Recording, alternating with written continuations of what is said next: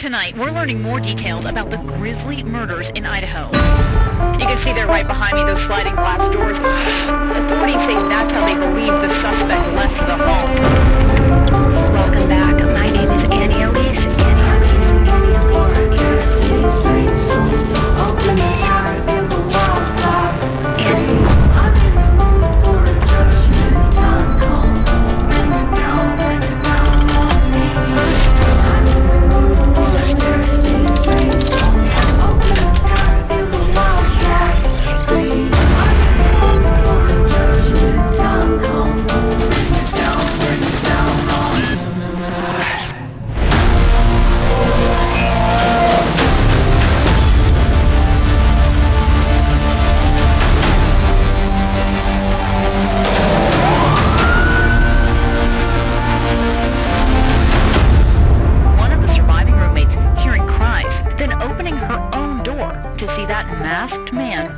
Her.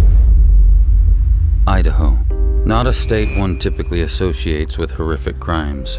Nevertheless, at the end of 2022, around Thanksgiving time, a massive case took the U.S. by storm when a group of college kids were murdered in the town of Moscow, Idaho. The mark of extreme brutality left on the crime scene quickly became one of many haunting signatures of this case.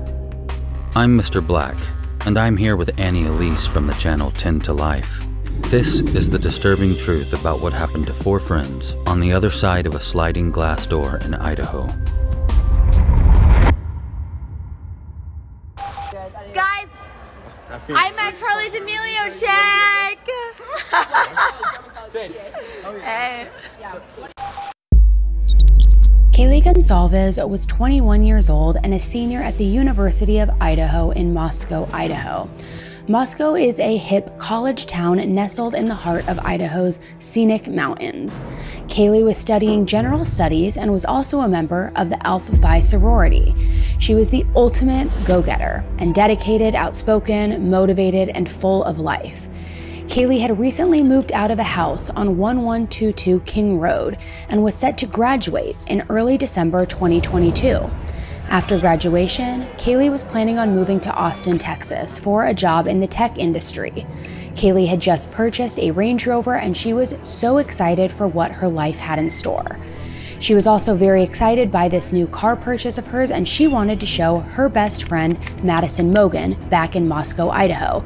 So she drove back for the weekend to show her best friend her new car and party one final time before her move to Texas. I thought maybe I should have put her in some gun safety courses, have done something, but she had her phone right next to her and she couldn't call 911. Put the finger in the trigger. You always put your hand here, Okay. and then when you're ready to shoot, you go here, and you just use your tip, Okay. Okay. Okay. and then you go softly. But this arm always has to be strong. And this one, is right there to brace it. So aiming, you know what aiming is? Yeah, it's right between those two things. Those two things. So like aim at a star, Yeah. put that and that red little orange tip at the star, and you'll shoot it. Okay, but Dad, I'm gonna. Oops. My thing's on the trigger. Okay, pull it. Get ready. Are you ready? Yep. Plug Twice. my ears or something. Here, I'll plug yours. Okay. Okay. Now Wait. you hit it twice. Boom, boom. Again, again. Oh, It got clogged again. no, that was the last bullet. Oh, was it? She screamed when he shot that. Madison Mogen, also known as Maddie, was also 21 years old and a senior at the University of Idaho. Maddie was a marketing major and a member of Pi Beta Phi sorority. Kaylee and Maddie were practically sisters. They grew up together, did everything together, and Kaylee's family said that they were each other's chosen family. Do you think anyone would drink wine? I like, I'll have some wine. I didn't even think of it really, because you know I'm not a big drinker, Yeah, but but- maybe I should have something. You don't, you're not a big drinker? Good night. That's fine. I'm not about to keep barking at a bitch who ain't about to do that. Anyway, just mad because you was a stripper that thought you was gonna get wifed and didn't. Psych. That's fine. I'll be a stripper because I make way more money than you, bitch. Maddie was still living in that shared King Road house, a house right by campus and all of the sorority and fraternity houses, with their other good friend, Xana Kernodle.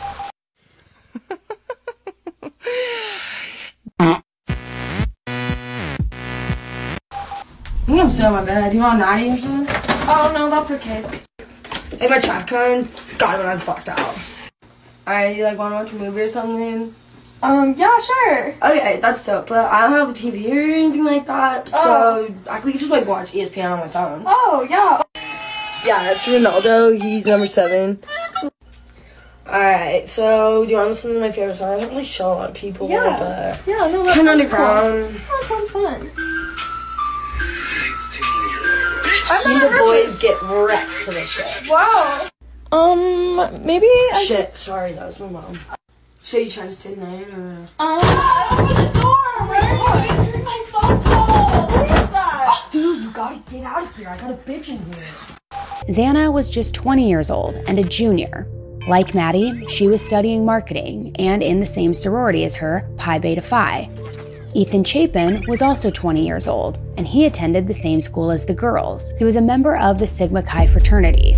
He was majoring in recreation, sport, and tourism management. Ethan was a triplet, and both of his siblings also attended the University of Idaho. Oh, there. Oh. Wait, Bear, I can't see you. 10 years old today. Dad and I thought we'd never see double digits. Dad, where are you going? Oh, didn't we tell you for your birthday? Dudes, we're flying to Disneyland right now. Happy birthday! We're hopping on an airplane. We're going to Disneyland. We're going to Disneyland. True story. We're flying you to Disneyland right now. Yes, we are. You Yes, are? We really are. We aren't going to school. No. You're not going to school for the whole week. Then what about all our stuff?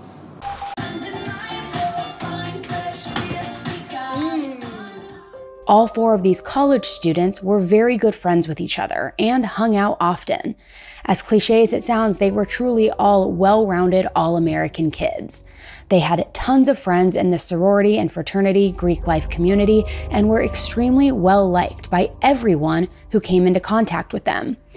Now, Ethan didn't live with the girls in that King Road residence, but he stayed at the girls' house often, which was again just off campus, and he stayed with them on Saturday, November 12th, 2022, with his girlfriend, Xana.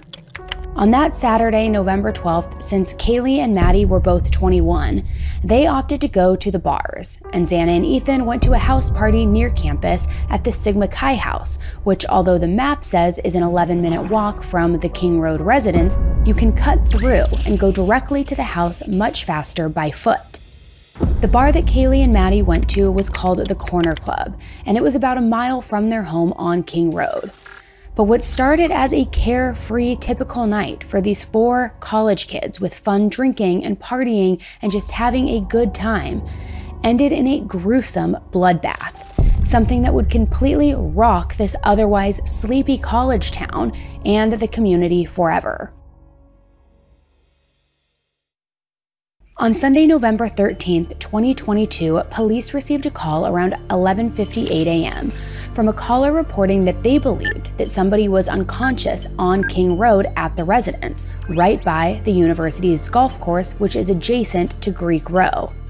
When the police arrived early Sunday afternoon, they had no idea that they were about to discover one of the most grisly and heinous crime scenes to ever take place in this tight knit college town of Moscow, Idaho.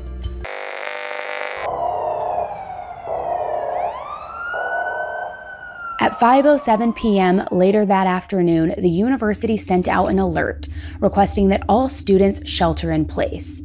The sheltering request was lifted approximately 40 minutes later after investigators with Moscow Police Department told the school that they did not believe that there was an active threat to the students' safety. But nobody knew why this alert was sent out, what was going on. However, rumors of a massacre happening at the King Road residence were quickly swirling around campus and jumping from phone to phone, text message to text message to where everybody heard that something was unraveling, but nobody knew what had happened exactly. Was there an OD? Did somebody get in a fight? Was there an altercation? But the truth of what took place inside that home was nothing that anybody could have ever imagined. Shortly after the alert was lifted, the University of Idaho's president, Scott Green, released a campus wide announcement. This announcement said, It is with deep sadness that I share with you today that the university was notified today of the death of four University of Idaho students living off campus, believed to be victims of homicide. We are grateful for the support of the community and the ongoing efforts of the police department. The university is committed to supporting students and families during this difficult time. After the announcement was made, classes were canceled that following Monday, and students and parents were extremely freaked out by the news. The majority of students decided to head home for Thanksgiving break early. This kind of thing just didn't happen in Moscow. Nothing like this had ever taken place in the university's history. Now, at this point, the only information released was that four students were deceased inside the girls' shared house. No cause of death or identities had yet been released. The police department said there was not an outstanding threat to other student safety, hence why that shelter in place was lifted just 40 minutes after the alert went out. However, nobody was in custody for this crime. So many people were questioning how there could be no continued threat to the public if there were no details provided and nobody was in custody. Four students had just been killed, and it was a homicide right by campus. But there wasn't an ongoing threat somehow?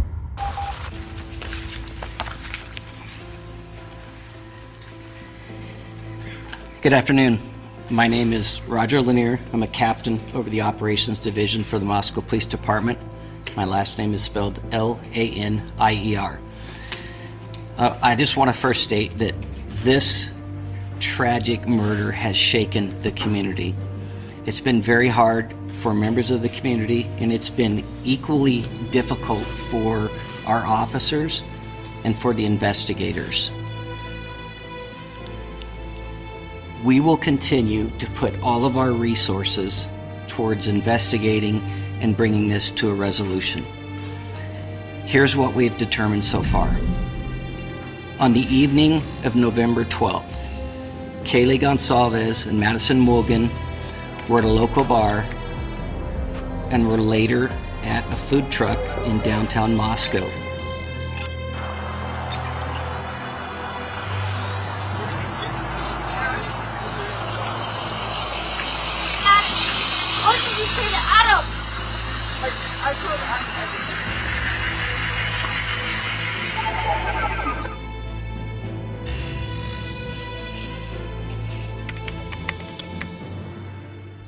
This video was from a live social media stream on the platform Twitch, and it records a food truck called the Grub Truck as it fills orders for late night snackers after they leave the bars.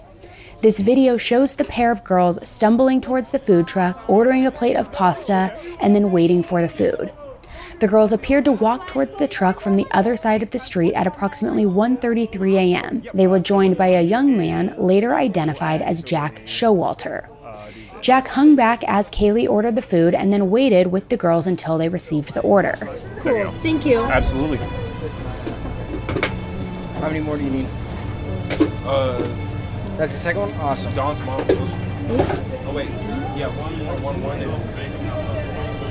Maybe I didn't have a food. I. It's right here. Um, and then what was the mac? Uh, don't forget to remove the The spoon. carbonara. The carbonara mac of the week. Here, I'll grab it for you. Excellent. And then click see rewards. Enjoy. And it looks like you do not quite have enough points yet.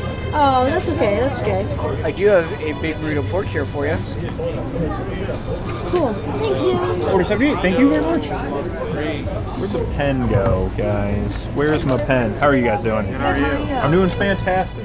You prepared, Derek. Uh, it's because I try not to forget my wallet. It's a good reason. That's smart, Derek. It's probably good to not lose your wallet. Guys, At 1:53 a.m., the girls walk away in one direction, leaving Jack speaking with others at the truck. He looked in their direction, surprised that they had walked off, but then is seen walking around the corner in a different direction of them. Then the girls used a private party for a ride home through their campus safety ride service, and they arrived home to the King Road residence at approximately 1:56 a.m. Ethan Chapin and Xana Kernodle were at the Sigma Chi house before also arriving home at approximately 1:45 a.m.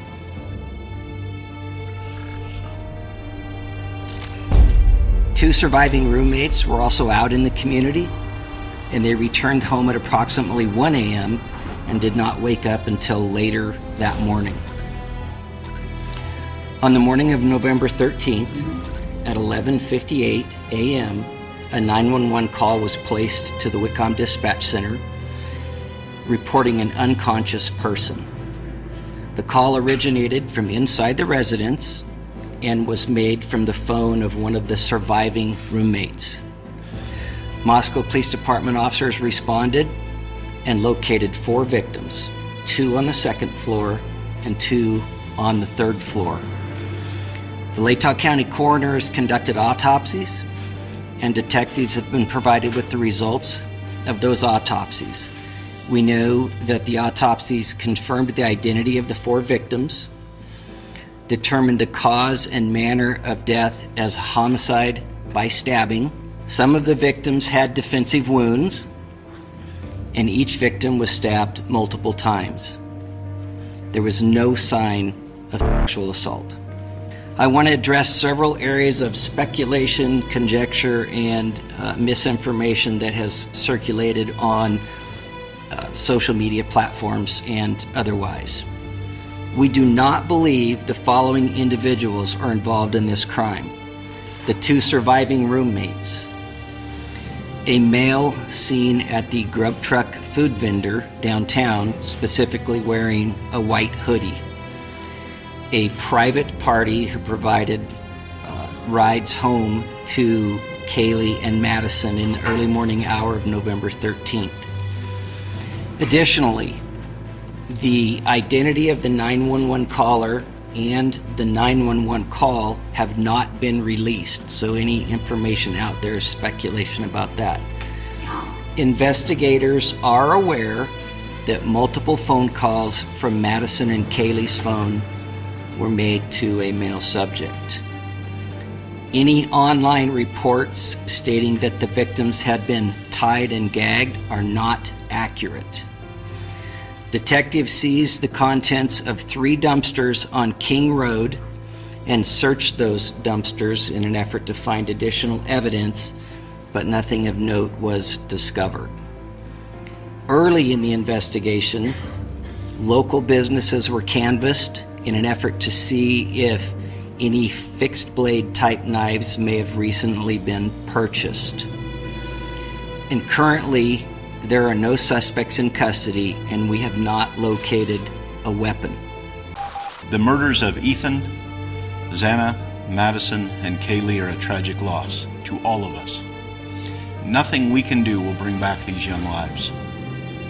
But we have an absolute commitment to working together to solve these senseless murders. God, it smells like dirty dick in here. Murphy, you've been a bad boy. oh my god, it's 9:10. Guys, can anybody drop me to class? I'm late for my meeting. I'm supposed to be there 10 minutes ago. Did anybody do their chores today? Okay, I'm just gonna do it.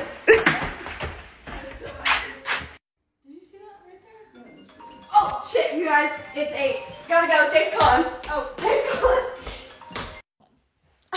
Oh my god, I look horrid. Oh, Murphy, you look so cute. Get get out of here. You seriously gotta get out of here. You're fucking stinking this shit out.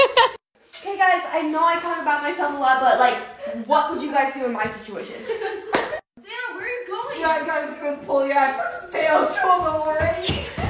Is there do like a wine night? Like, let's just do a wine night.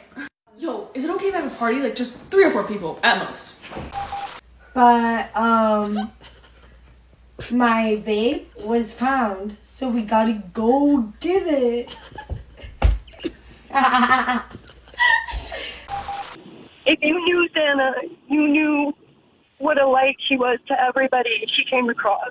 She was just such a positive influence on everybody around her. I, I honestly, and, and I'm not saying this because I'm her mother and biased, it's just the truth. There's nothing negative you could say about her. She was just such a good soul. She cared. She deeply cared about her friends and her family. And she just, she would never hurt anybody. I don't understand who would want to do anything to any of these kids. They were all great, great The police initially said that the students likely died between 3 and 4 a.m., but that they weren't discovered until several hours later.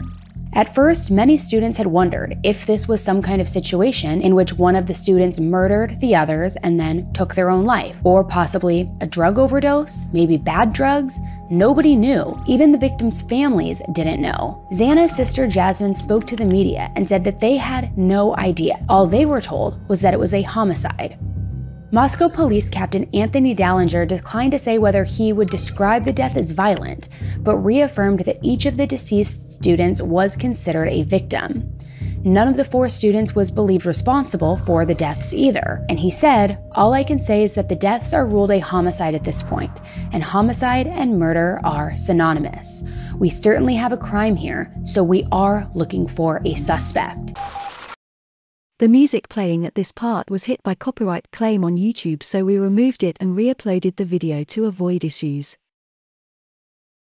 The next day, the police released more information. They told the public that it was an extremely bloody scene.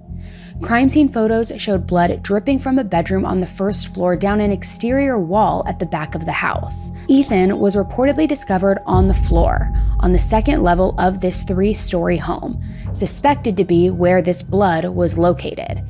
Still, the police didn't have a murder weapon, but they believed that the four students were targeted and now believed that their deaths were inflicted by some type of weapon with a serrated edge, such as a Ka-Bar knife. Ka-Bar knives are military grade weapons that were originally designed for use by American troops in World War II. Today, they are generally used by outdoorsmen or hunters.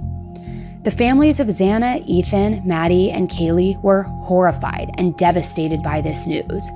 Kaylee's family described these kids, saying they were smart, they were vigilant, they were careful, yet all of this still happened.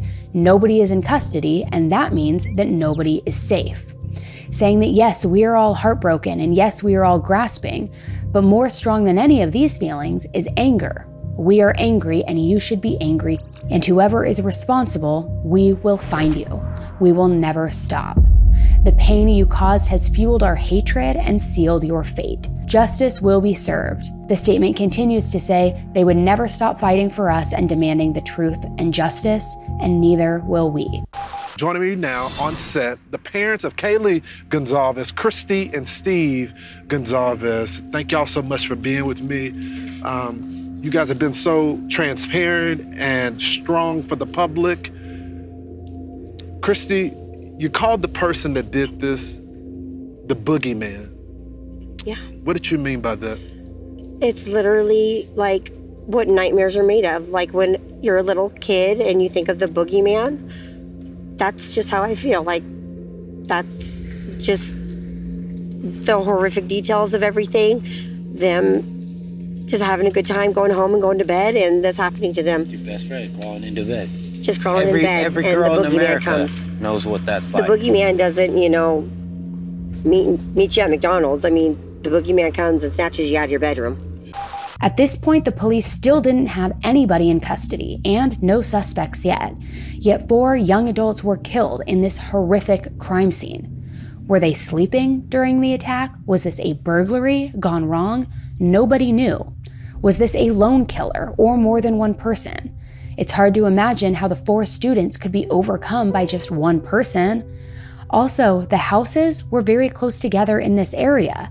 Did anybody hear anything? Well, according to neighbors, no. So was the killer close to the victims, or was this a crime of passion? Hmm. A house like the one these kids lived in is bound to see a lot of foot traffic. Parties, music, angry neighbors. It all comes with the territory in those college years.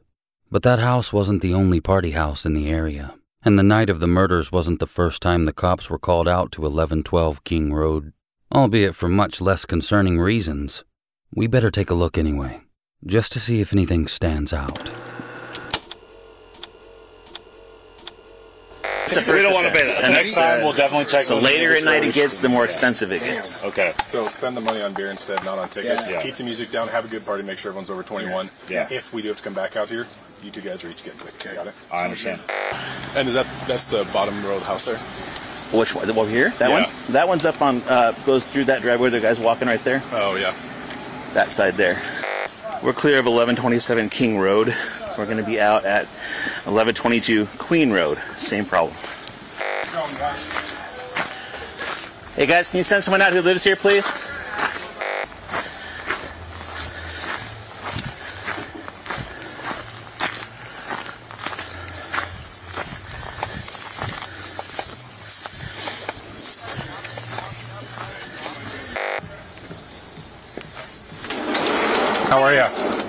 You? Good. Is this your place? Yeah. Perfect. You know why we're here?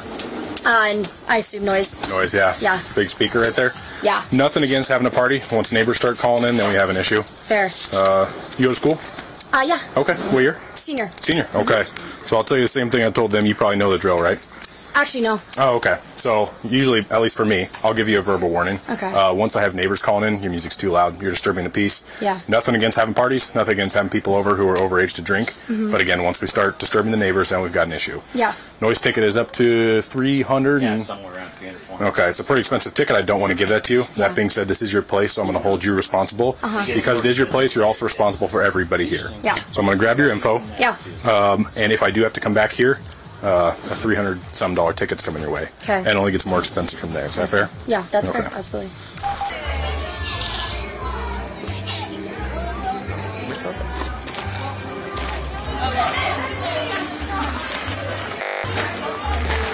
Hey, ladies, how's it going? Good. How are you? Good. Um, uh, we're not actually. I don't know. who lives here? No. No, I don't.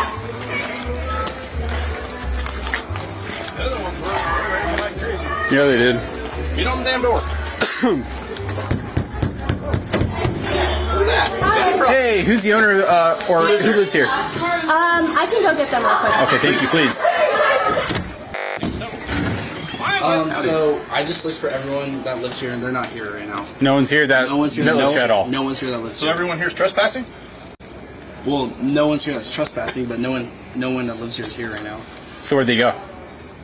They're just not here. I have no clue where they went. No clue. So you guys just throwing a party in, in, in their house at this they were time? here and at one point. They're not here right now. I just, I They- just searched all the rooms. they left and went over to some other party, and everyone is about I leave searched all the rooms and looked for. Okay. Who does live here? What are their names? I am actually not sure. I live across the street. I just came over. I haven't drank a drop. Male, female? Uh, I think it's mainly females. I think it's like four females. What sorority are they affiliated with? I don't know. Do you Because I want us- guarantee you there's a lot of underage drinking because they left their alcohol behind. Do you want us to try and get a name or a phone number and If we can could. call someone?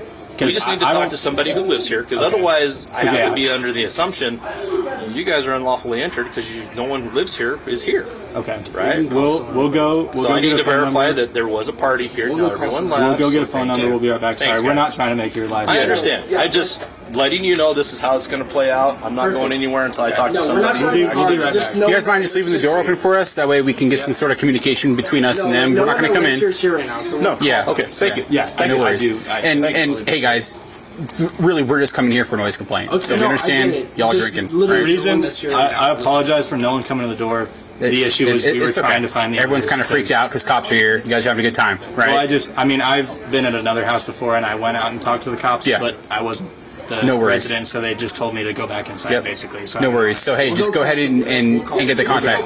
Thanks, man. We'll be right back. All right, Josh. J- Jordan, you talk to Yep. Maddie. Excuse me, guys. Um, this is one of the owners that lives here. She's on the phone right now. Hi, this is Officer Welsh, Moscow Police Department. Who am I speaking with?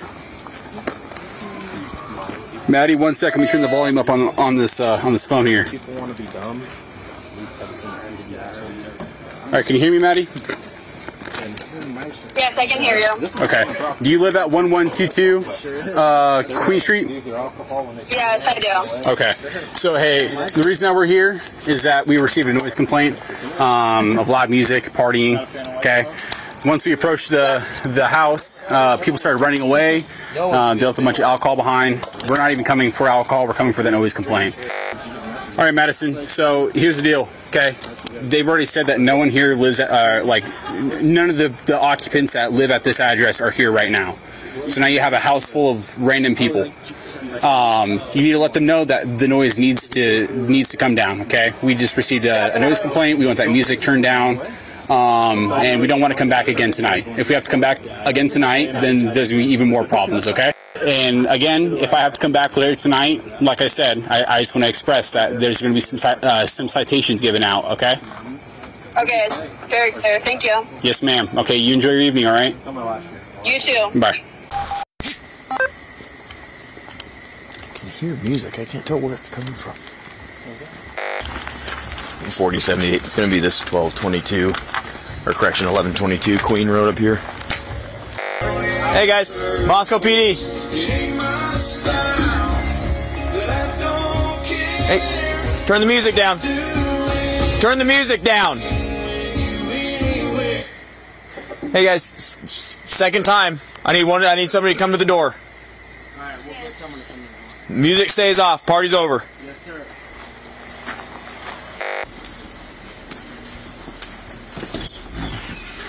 Hello, Miss. What's your name? Xana. Xana, do you live here? Yes. Hey, did Megan talk to you earlier? I no. Okay, does Megan live here? Megan. I do not have a Megan that lives. Megan Mogen? Ma- uh, Mogen, yes. Madison Mogen, yeah. Madison Mogen? Okay, she does live Sorry, we. She is at the club. She's 21. I'm just going to bed. I have a couple friends over, but this is my ID. Have you talked to Maddie tonight?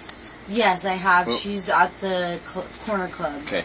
Did she did she tell you anything about anything that happened earlier or anything like that?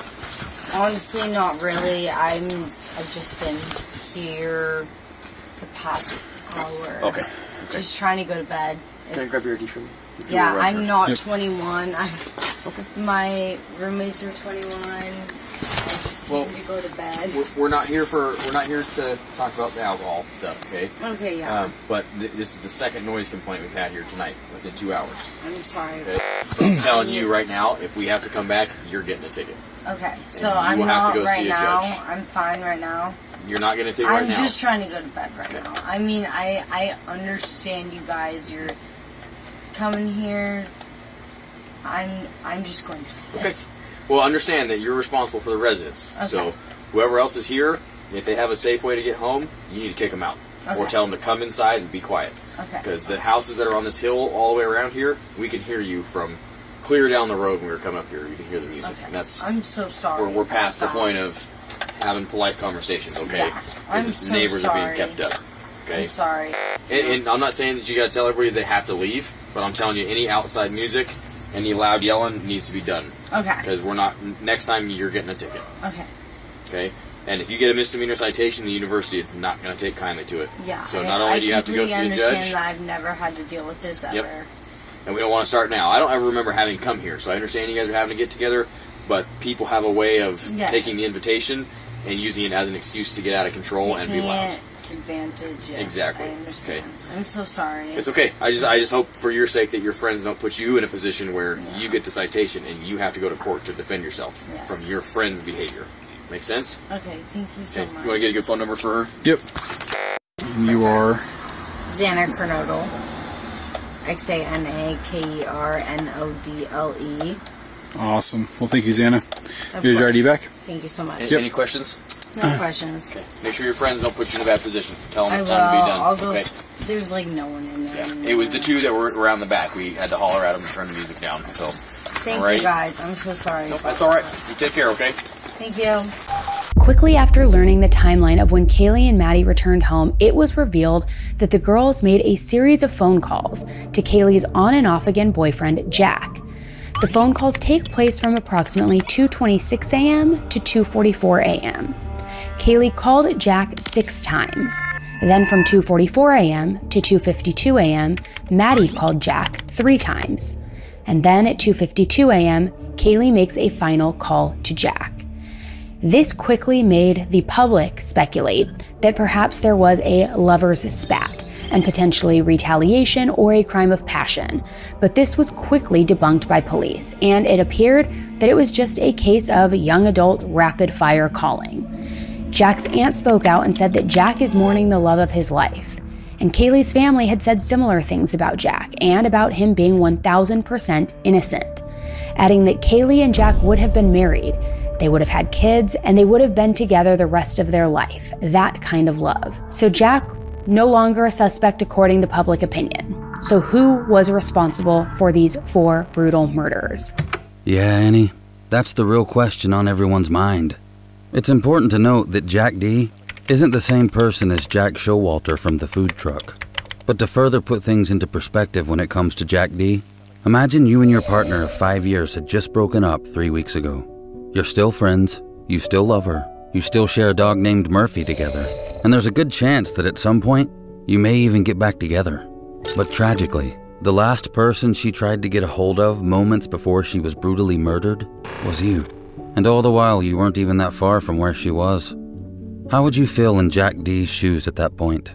Well, if you're any part human, then you'd be crushed, broken, and you'd have just had your heart stolen from your very chest and you'd beat yourself up about what you wish you would have done through sleepless night after sleepless night.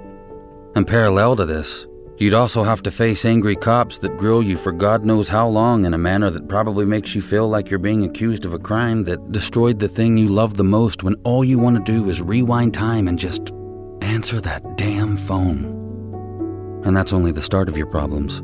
To top it off, half the internet thinks you're responsible and they're boldly announcing their baseless and sensitive claims from the safe rooftops of social media everywhere. You can't open your phone, you can't turn on the TV or computer, you can't do anything. Her face is everywhere. So are the faces of her friends who were probably your friends too. Then everyone has a stupid comment about how guilty you look or how much they have a feeling you did it. But the truth is, you're also a victim, and this tragedy will affect you for the rest of your life. If there was ever a moment in the internet's history that turned my stomach, it's this one. The attack on Jack D showcased the worst of mankind's narcissism, unapologetic insensitivity, and mass lack of empathy. The people that did this are heartless. You know, it's one thing to have opinions or theories backed up by evidence, but it's another thing to publicly go after someone who's dealing with a ridiculous level of trauma when you have zero facts to back up your baseless attacks. In the words of Joey Swoll, we need, need, to, do, do better. better. And if you can't, then mind, mind your, your, own, business. business. This kid's hurting real bad right now. Send him love and well wishes, not death threats and unfounded disrespectful speculation. Jack D, if you hear this, I hope those around you carry you through this awful time. You're undeserving of the way you've been treated online. It may not seem like it right now, but it will get better. Keep your head up, man. One of her last messages, he reached out to Jack and said, Jack, get back to me. And he didn't. She goes, We share a dog together, which they did. She's like, you need to reach out to me. So please come over. She was wanting Jack to come over. There, Jack is um, is is not. Um, they're wasting their time with Jack, and and and Jack is just as distraught as we are. Um, Jack is our family. We love Jack, absolutely love Jack. We stand behind Jack one thousand percent.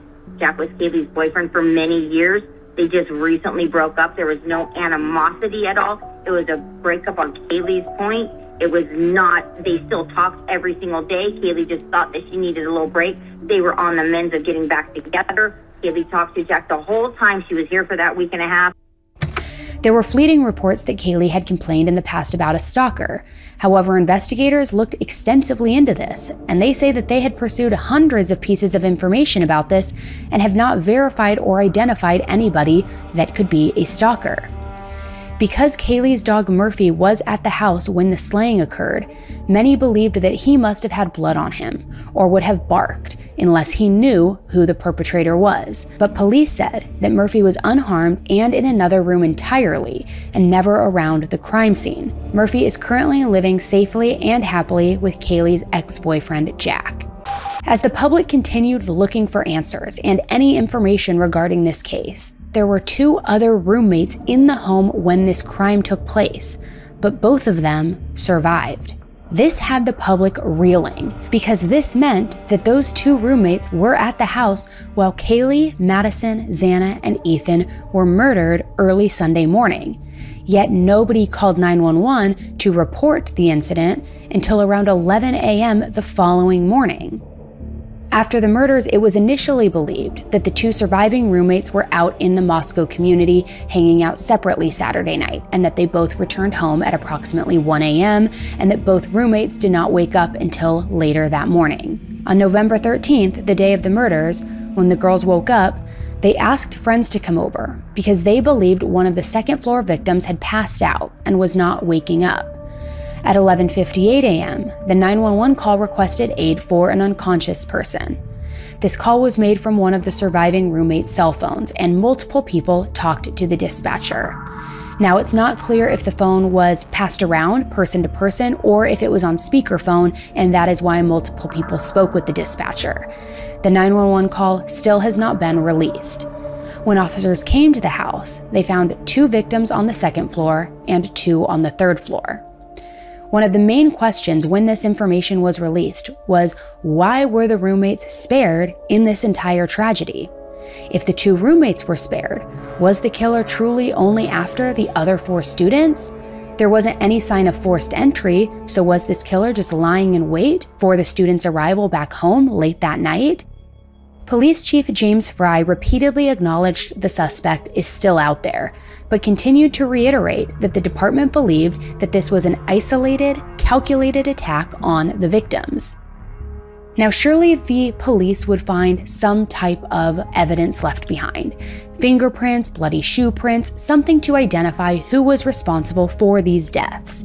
Usually, in such gruesome stabbings, such as these, there's DNA left at the crime scene, because knife attacks generally result in the suspect cutting themselves, especially if they are attacking as many as four people, one being an athletic male. However, one of the largest hurdles in collecting the DNA and finding a single source match to the killer was how much traffic was in and out of that house.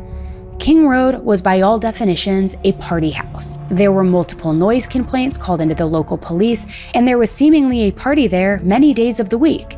It's a typical college house close to campus and Greek life on campus, and based on body cam footage that has been released from a few of those police calls to the home, it certainly does show how open and accessible the house was from time to time with people coming and going at all hours making it very challenging to single out a singular source of DNA from the multiple amounts more than likely left behind inside that house. Yo, is it okay I have a party? Like just three or four people at most. Autopsies of all four victims took place on November 17, 2022, and their causes and manner of death were ruled homicide by stabbing. The county coroner, Kathy Mabbutt, said that all four victims were likely asleep. Some had defensive wounds, and each were stabbed multiple times. She did, however, say that there were not any signs of sexual assaults. But as the timeline of that fateful morning became more clear, the evidence indicated that more than likely the students were awake during the murders, and that one of them may possibly have been the killer's original target. Weeks went by and there were no arrests, no public leads, and the public began fearing that this case was going cold. Kaylee's dad, Steve, appeared on multiple news channels trying to find answers and expressed his growing frustration with the police. I hope people understand how all these kids that were a part of this were doing everything right. And They were going to be the type of people that you wanted to be your neighbor. I'm truly responsible for my daughter dying because it's a father's job to keep their children protected. And I, uh, I obviously didn't live up to that. Everybody wants it to go away, and it needs to go away, but it can only go away when we have justice. There's so much speculation because there is no information. There's that void and there's that gap that it, it gets filled with a lot of times nonsense and, and rumors and, and false narratives. Still, this father believes law enforcement should include the community more in terms of getting help in the investigation. I don't feel the leadership and the confidence level is there. I mean, I want to see a guy stand up there and say, hey, we're going to get this guy. Still no leads on a possible suspect from Moscow police, but Stephen Goncalves has this to say about the killer. He's just a coward who found some people sleeping in their bed. I mean, it's about as wimpy and cowardly as anybody could do. Good evening, America, and welcome to this special edition of Cross Country on location in Moscow, Idaho. It's been about two weeks since the University of Idaho students were stabbed to death in their beds while they slept in that home right behind me. In a town that never used to lock their doors, locksmiths are now being flooded with calls. College students are now considering online classes. And while rumors are swirling here, everyone is in agreement on one thing justice must be served. We have walked this crime scene, followed the timeline of this case, and asked investigators to answer some of the many unanswered questions about this brutal crime. And joining me again tonight, Steve Goncalves, father of Kaylee Goncalves. Sir, thank you so much for joining me uh, tonight. We continue to grieve with you and your family, and we're hoping to get answers for you. Sir, what, when was the last time you talked with law enforcement about the case? Well, we just had a vacation. Uh, law enforcement told me that um, they were going to drop off a little bit and not to expect the same type of um, communication that I had gotten before. They passed it on to another person. So basically, long story short, it was Wednesday, 5 p.m. was the last time that they reached out to me. So, yeah, that's rough. Sir, what are they telling you? They're kind of just telling me that they can't tell me much which is frustrating to me because I've been very um, trust, trustworthy. I, I, I, don't, I do know things. I haven't shared things. Um, we're the same family that found the original timeline. We're the same family that broke into the phones. We tried everything in our ability to try to get into this system because a court order is not the fastest thing. So we we broke in and we did what we did. We know that we have some family passwords that we all share. So we broke in and we helped them. So it, it, it's hard for me to give up as a father my protective ability to other men. Sir, they have shared with us that it was a targeted attack. Can you give us any information about that? Have they told you who the target was? Or, or giving you more insight than they have the public? They I don't want to talk bad about them because these are some hardworking individuals, and I have, I'm doomed without them. We're all doomed without them. This defund police is just a terrible idea. The fact that we're finding out that there's more than just my daughter and these children that have suffered it's terrible to think that we can defund these guys. It's an absolute atrocity. That's not something that is um it's political. It's not political. This is just facts, guys. We can't allow these people to just run free. So beyond that, they haven't shared a lot. We have some private detectives that have reached out to us and given us information. We take that with a grain of salt and we try to be careful. Just today, I reached out to the officers and said, "Hey, this guy's treated me with respect on the show. I'd like to share some things with him that uh, that that I found out on my own, and they asked me to not do that. So we're we're holding our tongue. We're waiting patiently, but we're definitely concerned. Kaylee's parents spoke out about the murders being targeted, like the police said, and in one of their interviews, they revealed that Maddie and Kaylee's autopsies did not match saying that their points of damage don't match. You you've said both now to Rachel and then in in the clip in your appearance with Lawrence Jones that the, your daughter and, and Maddie had different means or manner of, of attack, and that suggests one of them was targeted. Um, can you share with us? Do you know, and you can't share either way, which one was targeted? I can't. I asked for permission to do just that, and they said no. Um, I probably over disclosed information that they wish I wouldn't have said. But this the story's going mm-hmm. cold. There's less people coming to Moscow. Um, I'm not gonna go sleep in my bed knowing that I could get up and I could go to town and I could I could do something. And I'm not gonna go away. And I, I hate to be a pain, but as a father, I just can't even sleep thinking that I, I could be doing something. So that's that's why I'm not. Kaylee's dad, Steve, wasn't specific on what didn't match, like if Maddie or Kaylee were hurt more than the other. However, he did say, and I quote, he doesn't have to go up the steps.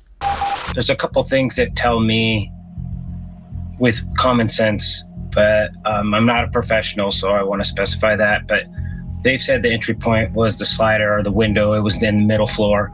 So to me, he doesn't have to go upstairs. His entry and exit are available without having to go upstairs or downstairs. Looks like he probably may have not gone downstairs. I, we don't know that for sure, but he obviously went upstairs. So I'm using logic that um, he chose to go up there when he didn't have to. And um, I can kind of tell by my daughter's texts, messages. She did call 911. She wasn't uh, saying anything along the lines of like she had heard something or she was in fear. So I'm just putting the, the, the dots together. This led many people to believe that Steve was indicating that Kaylee or Maddie were in fact the target, which is why the killer went upstairs to locate them.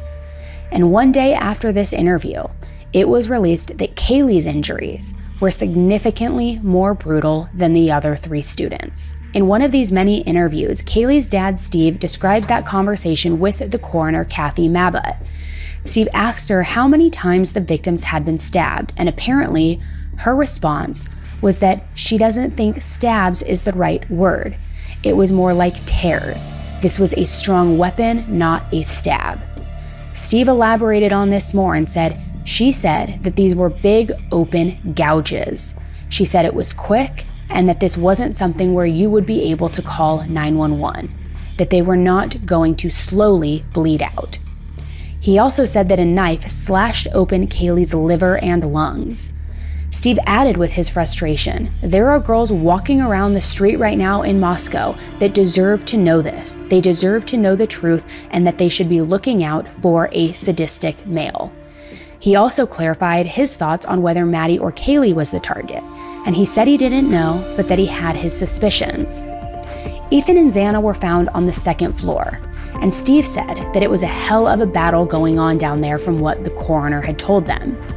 Clearly, they knew it was a brutal murder, but now with this new information, it felt like the word brutal didn't even accurately describe it. The last thing that Steve said in this interview was that even though the coroner told them that they likely died quickly, he doesn't believe that.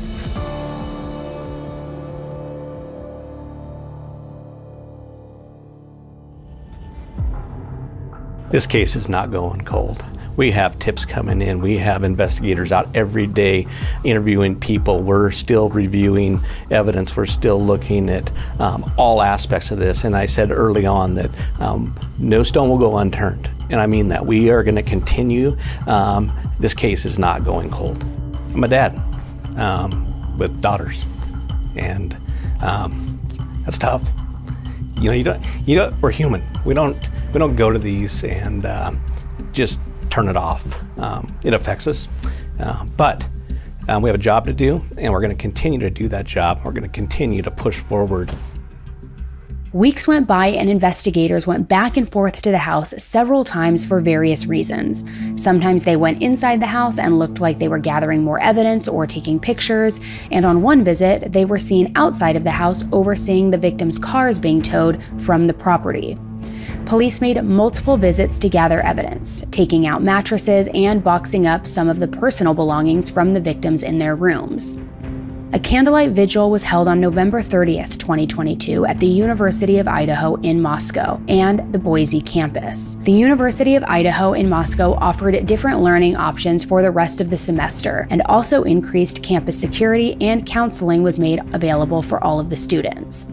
The family, friends, and public all wanted answers, but there was seemingly nothing. Just theories, speculation, and of course, lots of rumors. But finally, on December 7, 2022, the Moscow Police Department released a statement that finally had some new information. They said that detectives were interested in speaking with the occupants of a white 2011 to 2013 Hyundai Elantra with an unknown license plate. They also said that tips and leads had led investigators to look for additional information about this vehicle being in the immediate area of the King Road residence during the early morning hours of November 13th. Investigators believed that the occupants of this vehicle may have critical information to share regarding the case. And this was definitely the biggest update in the case so far at this point. So we have uh, um, information of a white vehicle that was in the area um, either during the time frame of the homicide or around the time frame of the homicide. And we are just wanting to talk to the individuals who are in that vehicle. Um, they may have some valuable information for us. And we're looking for a 2011 to a 2013 Hyundai Elantra. So any assistance you can give us um, anybody that owns one anybody that knows of someone who owns one or may have been driving one if you could get a hold of us um, through our tip line or um, call us directly um, we'd appreciate that Shortly after the information about the white Elantra was released, the University of Idaho's winter graduation weekend came. Kaylee was supposed to walk the stage that day. Police released a statement warning the public to stay vigilant, exercising all safety precautions and advising them to stay in groups. Now, this once again had many people confused, because if this was a targeted crime, either against the four victims or the house itself, why did people still need to stay in groups all weekend? Did the police think that the killer would strike again? Did the Moscow Police Department have information that the killer might be somebody local? The Moscow Police Department reiterated that this was just advice that everyone should take no matter what, and that there was not a specific threat. But what was the truth here? The graduation ceremony also marked the end of the semester, and nearly all of the students returned home for winter break. With speculation that the case was going cold and the near silence from the police, students were getting nervous as they would all be soon returning to Moscow for the spring semester. As speculation grew, there were multiple Facebook groups created, Reddit threads started, TikTok circulating, where people shared their theories, their suspects, and what they believed the motive was. With new posts surfacing every minute, it was very hard to keep track of what was fact and what was fiction. And with no news or information released from the police aside from the elusive white Elantra, it allowed the speculation to grow and grow and grow. But what nobody knew, the police had been zeroing in on somebody since very early on into the investigation and it wouldn't be long now until the house of cards began to fall for this alleged killer.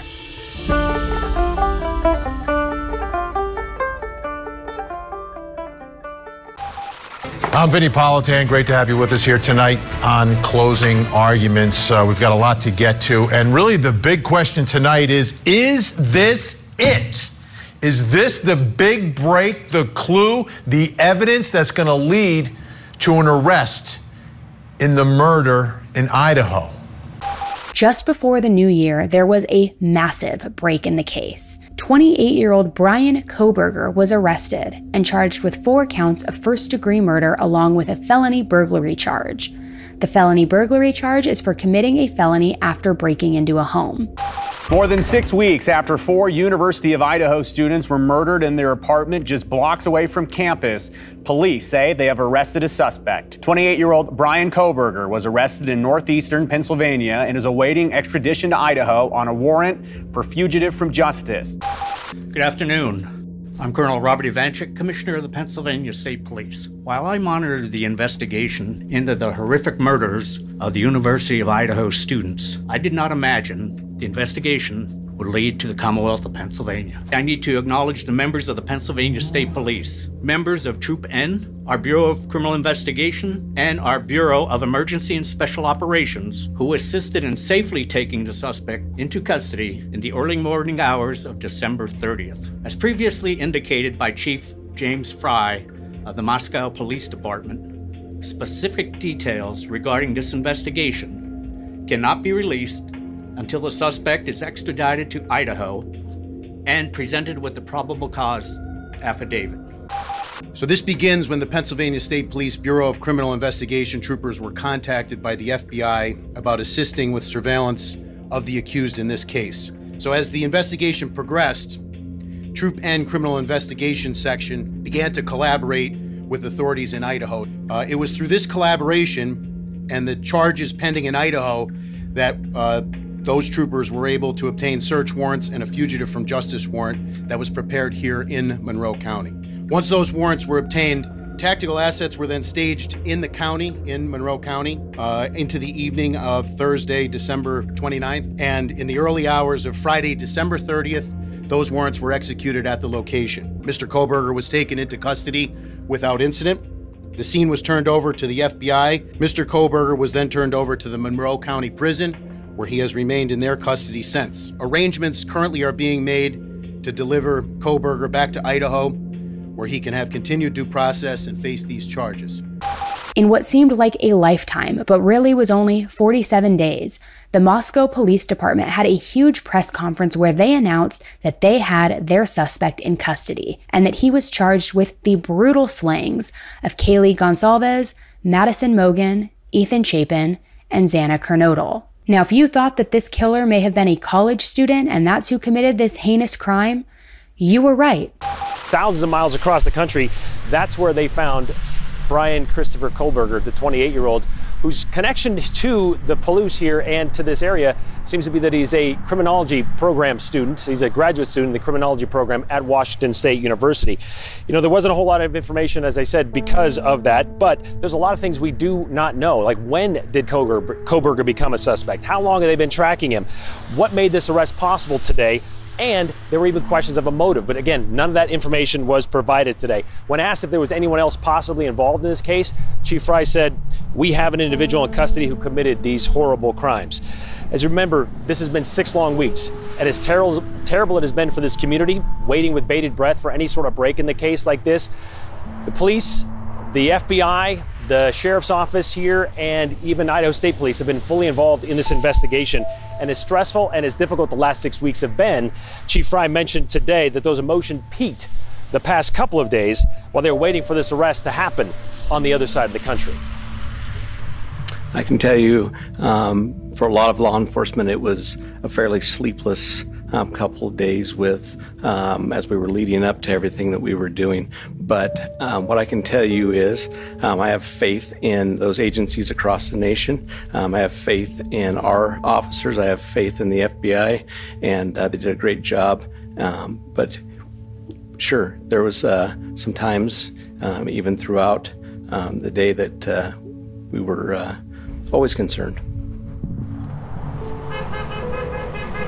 That was something that Chief Fry was adamant about, that he was confident they were going to find a suspect in this case. And as you heard him say, yeah, there were a couple moments last couple of days that things got a little tense, and now they have somebody in custody. At the time of his arrest, Bryan was staying at his parents' home in a gated community in Chestnut Hill Township, Pennsylvania, near the Poconos, when he was arrested around 3 a.m. Friday morning on December 30th, 2022, during a SWAT raid. A 2015 white Elantra was also found at his parents' house and was seized. Bryan was taken to Monroe County Jail, where he awaited extradition back to Idaho. Bryan was assigned a public defender in Pennsylvania to oversee the extradition process, and Bryan asked him to relay a statement from him, which stated, Bryan is eager to be exonerated of these charges and looks forward to resolving these matters as promptly as possible. He also intends to waive his extradition hearing to expedite his transport back to Idaho. When the Moscow Police Department held a press conference that afternoon to announce this news, they weren't able to provide much information other than the arrest because of Idaho laws. Bryan had to be in custody in Idaho before his arrest warrant would be made public. They did confirm that they couldn't talk about the motive and also stated that they still had not found the murder weapon. Although there were little answers, the public was over the moon. Finally, there was an arrest, and answers were beginning to surface about who was responsible for this brutal quadruple murder. But who is Bryan Kohberger? Jessica Krahansel, Jenna Cook, Bryan Kohberger.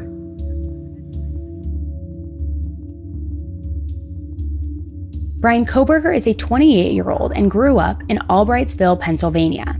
He has two siblings, and his parents are very closely involved in his life. Bryan graduated with a bachelor's degree in psychology and a master's degree in criminal justice from DeSales University in Pennsylvania. At the time of his arrest, Bryan was a PhD criminology student and a teaching assistant at Washington State University's Pullman campus, which is approximately a 15 minute drive from Moscow, Idaho. After his identity was released, a few students from the criminology program at WSU spoke out and said that Bryan didn't act like anything was weird at all immediately following the murders. They said that he was usually quiet and kind of weird in the first place, but they didn't notice anything totally off. One student even said he seemed more upbeat and willing to carry on a conversation. One of the classes that Bryan was in actually discussed the murders, and apparently Bryan didn't act phased either way. A different classmate, however, said he sort of creeped people out because he stared and didn't talk much, but when he did, it was very intelligent, and he needed everybody to know that he was smart. Another grad student commented on Bryan's arrest, saying it was pretty out of left field, saying that he took several courses with Bryan, and that Bryan was always looking for a way to fit in, and would find the most complicated way to explain something, and he had to make sure that you knew that he knew the answer and that he was correct. A girl who knew Bryan in high school posted a few TikTok videos where she talked about Bryan being one of her brother's friends and that she and the rest of her family were floored when they heard the news of his arrest. Okay, um, I don't have many followers, so I'm not sure who uh, this is going to reach out to. But regarding the case of the four Idaho uh, students that were slain, and the arrest that was made, um, I used to be friends with Bryan Kohberger during my middle and high school years. And then before anyone comes at me and says that I'm just running for clout, I'm not. I have pictures that I will show you. I have screenshots that I will show you. I have yearbook pictures that I show you. I went to school with the kid. I was friends with him. I'm, I wouldn't make something like this up. I am just an absolute shopper. I was heading to lunch when my mom called me, and immediately I knew something was off because I have the type of family that we don't call each other. So if someone does call someone, um, we know something's bad. Uh, she called me and asked me about the the murders. Um, I didn't know where she was going with it until she said that it was Bryan Kohberger, and naturally I freaked out and called about eight of my friends. Um, my brother was really good friends with him. My other friend you know, was really good friend, friends with him. I'm going to have a picture of him with him um, on the green screen as well. I'm shaking still. Um, but anyway, let me let me show you. This is back. This is the one I was talking about. It's his wife, and that's me. This was back in 2017. Obviously, that's Bryan. Um, still has the dead face that it's the eyes. I don't know. Um, but when I spoke to him back in 2017, he was clean. Um, he was a heavy heroin user uh, back in high school, and um, it was just nice to see the kid clean up. And at that time, he said he was doing security detail. I believe it was out of school, is what he told me. Um, but he seemed like he was better. Obviously, that wasn't true. Here's another picture from a party that we had at house. That's Bryan there. He used to be a bigger kid as well. Um, but again, that's him. And then at the same wedding, I'm here, but he's back there. He was out sitting at the same table as me and my mother. Um, but he is back there enjoying a drink. I was sitting right next to him. We talked. He seemed fine. My mom sent me the old school yearbook. That was him. Bryan Kohberger, that's him. He went to Pleasant Valley. He graduated with, I think, my friend, a year um, older, sorry, younger than me. This is when he um, nonchalantly decided to make me drive him around the Poconos for heroin, and I had no idea. I thought I was just doing a nice deed because he needed something, and it turns out that he was getting heroin. Um, sorry, I'm like, my voice is shaking. I might make a part two. I probably have to. I don't have a six minute feature, I only have a three minute feature. I also talk really fast, so I'm sorry. She also mentioned that there was a period of time that Bryan was struggling with addiction, but said that the last time she saw him in 2017, he looked healthy and like everything was good. She also recalled how Bryan treated her brother in the past, saying that Bryan would make her brother feel bad, would mock his intelligence, and almost do it as a way to make himself feel better.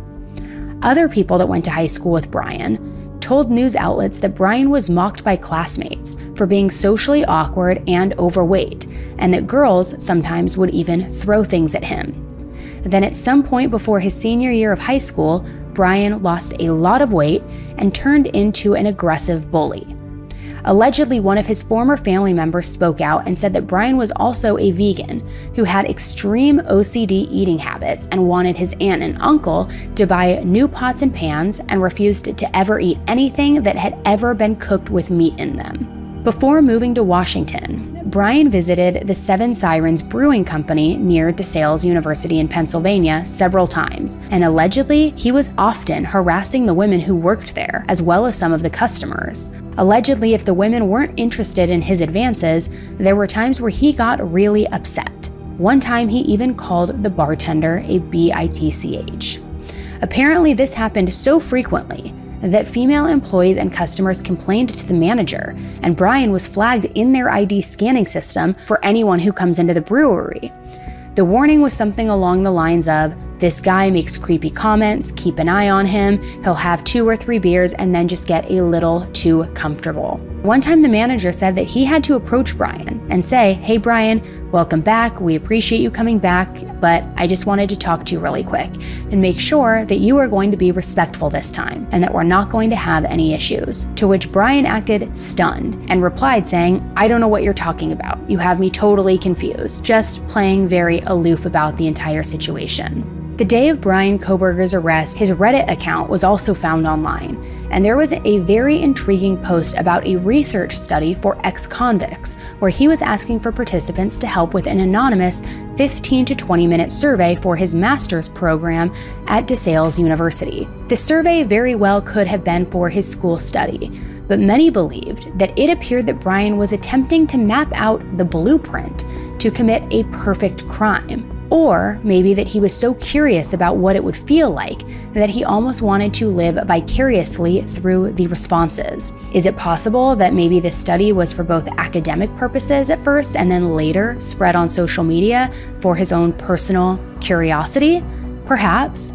Was he thinking about this or fantasizing about committing the murders all the way since this was posted last summer?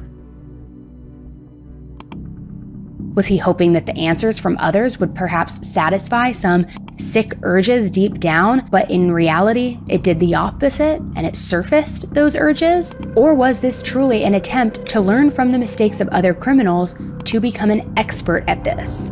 Some criminal psychologists have said that Bryan could have very well chosen his area of study to figure himself out, or why he feels like this, or even had a sinister motive to perfect his craft. Either way, it's very rare that somebody studying in the field at the PhD level is actually a psychopathic budding serial killer. But it does make sense that Bryan was into that just from what we know about the crime so far.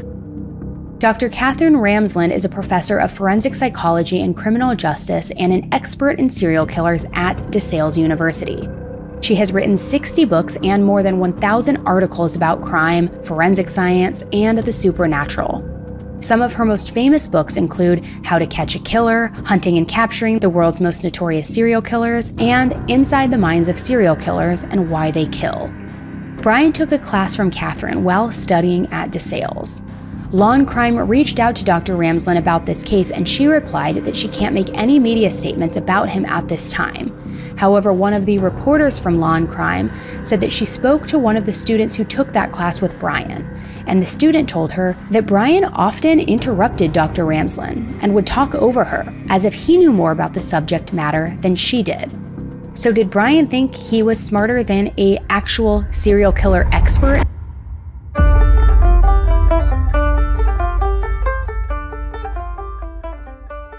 Bryan Kohberger was extradited to Moscow, Idaho on January 4, 2023, and appeared in court on January 5th. He was not offered any bond after officially being charged for the four counts of first degree murder and felony burglary for the deaths of Ethan, Xana, Maddie, and Kaylee. The magistrate judge presiding over the case preemptively put out a gag order on Moscow police, as well as the attorneys for the prosecution and the defense. Once Bryan was back in Idaho and appeared in court, his arrest affidavit was finally made public. providing more insight about how the events unfolded that horrific night that Xana Kernodle, Ethan Chapin, Maddie Mogen, and Kaylee Goncalves were brutally murdered in their own home. All right.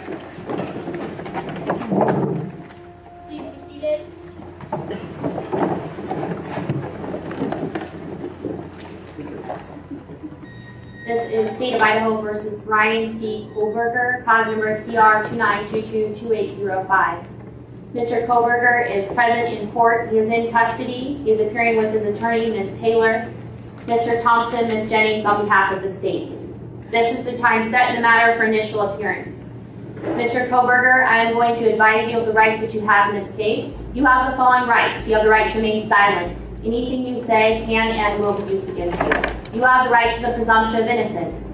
That means the state bears the burden to prove that you are guilty of this offense beyond a reasonable doubt. The state must establish that more likely than not, these felony offenses were committed and you were the one that committed the felony offenses. You can enter a plea of not guilty and you can have a jury trial set within six months of your appearance in district court. You have the right to confront and question any evidence or witnesses called against you. Call witnesses on your own behalf and compel witnesses to be present and testify at the state's expense. You have the right to be represented by a lawyer. If you cannot afford one, one could be appointed to represent you based upon your financial need.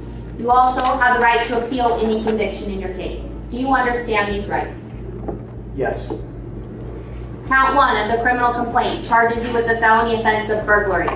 It alleges that the defendant, Bryan C. Kohberger, on or about November 13th of 2022, in Latah County, state of Idaho, did unlawfully enter a residence located at 1122 King Road, Moscow, with the intent to commit the felony crime of murder. The maximum penalty for that offense, if you plead guilty or are found guilty, is not less than one year in prison, no more than 10 years in prison, and or a $50,000 fine or both. Do you understand? Yes. Count two alleges that you committed the felony offense of murder in the first degree.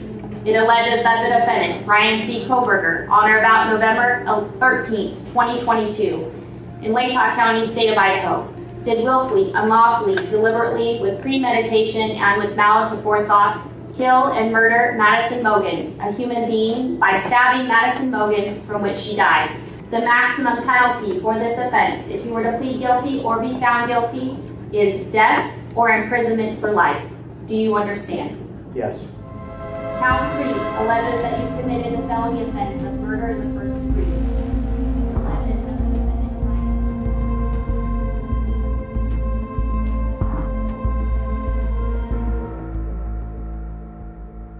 According to the affidavit, upon entering the house on 1122 King Road, officers headed toward Xana's room first. Just before the room, they could see the bathroom door, and as the officer approached, he saw Xana's body lying on the floor, with wounds that appeared to have been caused by an edged weapon. Also near the room was Ethan Chapin, who was found with sharp force injuries.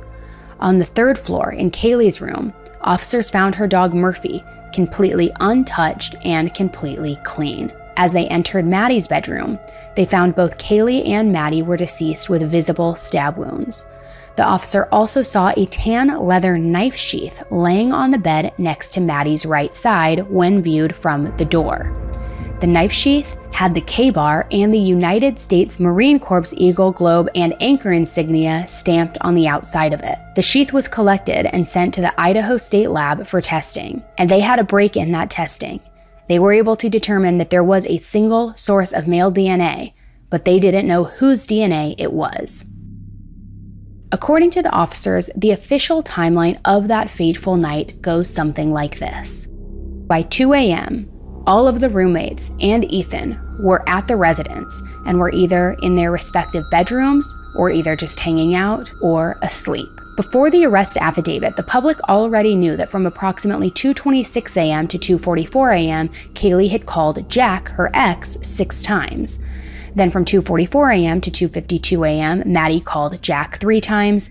Then at 2:52 a.m., Kaylee makes that final call to Jack. However, as this was all happening, about 10 miles away in Pullman, Washington, at approximately 2:44 a.m., that infamous white Elantra was observed on WSU surveillance cameras traveling north on Nevada Street.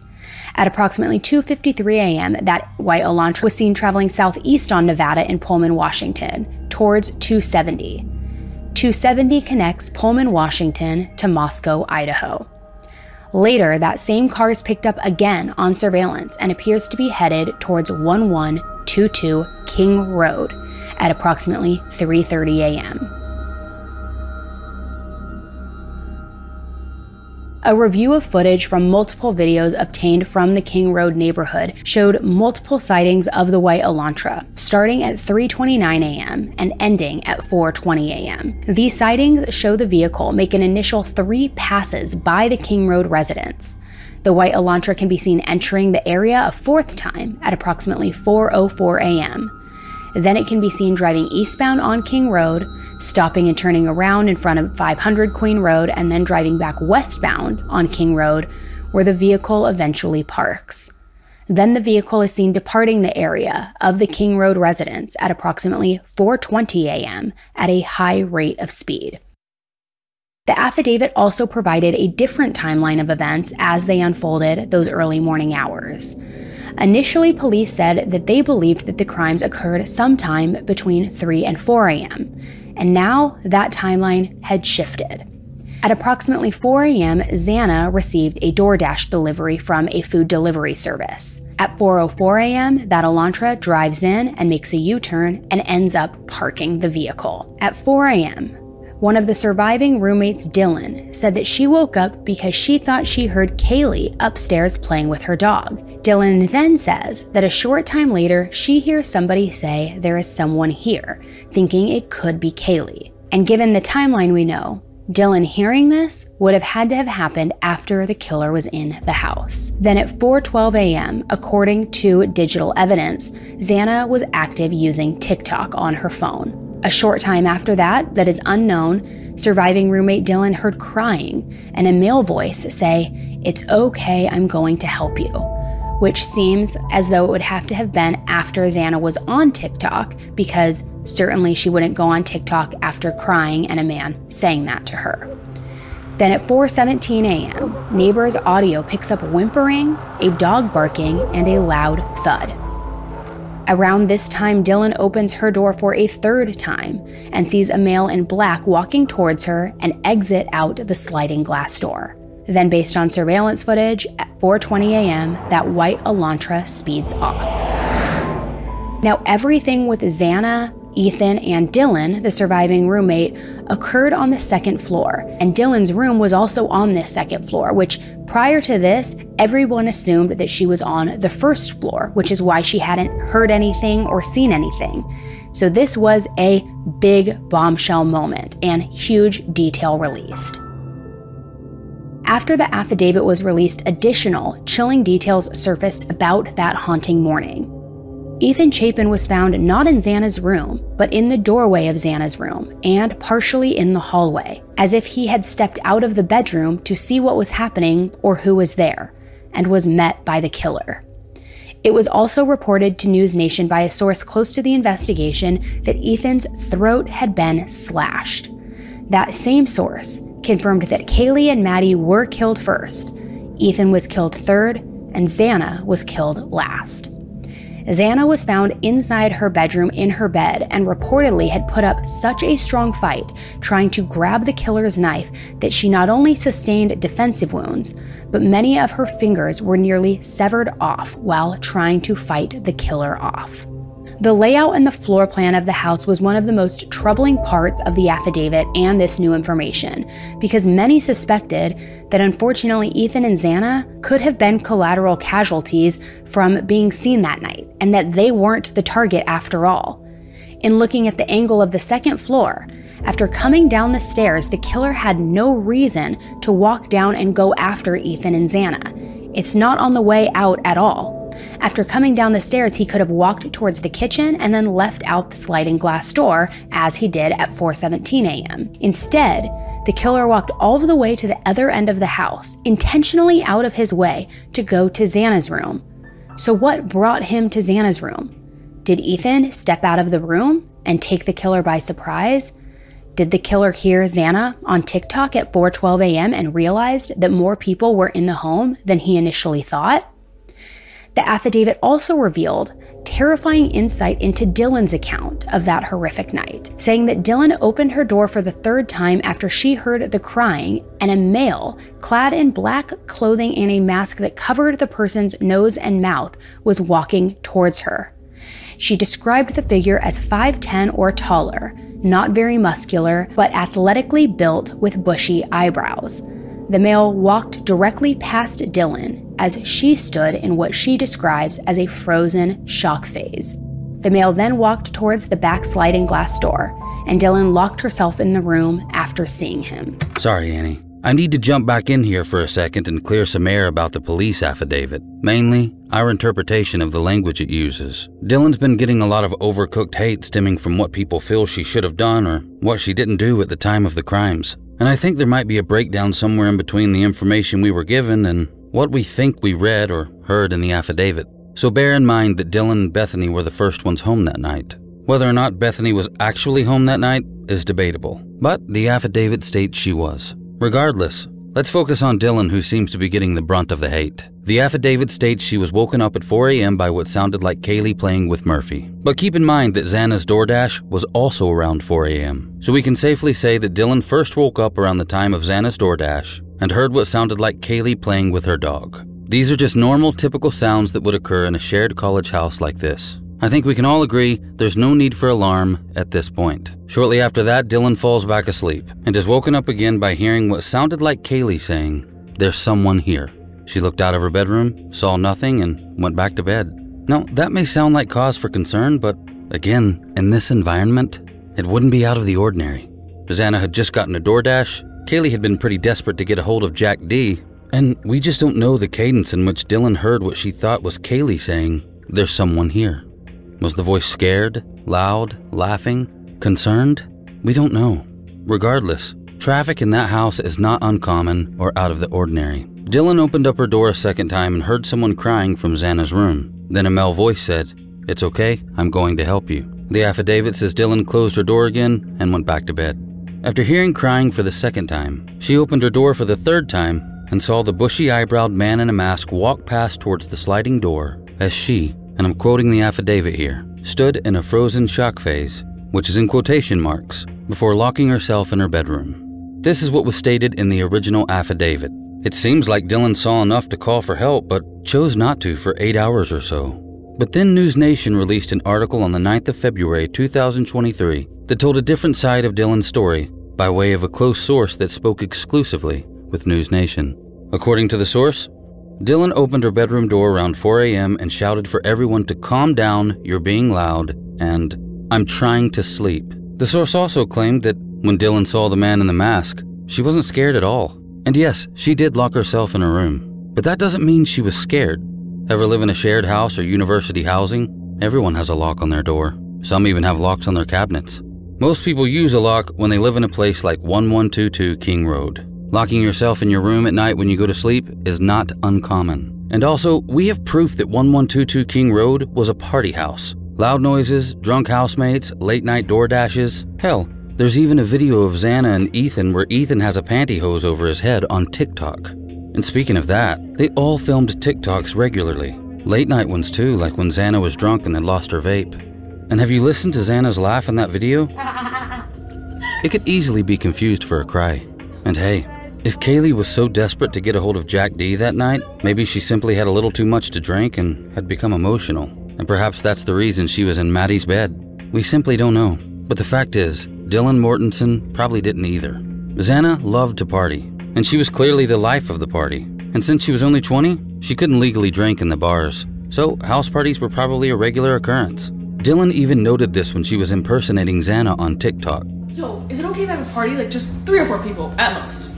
If you look at things from this angle, you can kind of start to see why Dylan didn't call 911. Maybe she didn't think she needed to. We now know that Dylan called Ethan's best friend and others before the police were called to 11 King Road, roughly eight hours after Dylan locked her bedroom door. I called this next part from the start. While the 911 call was made from Dylan's phone, it was dialed by someone else.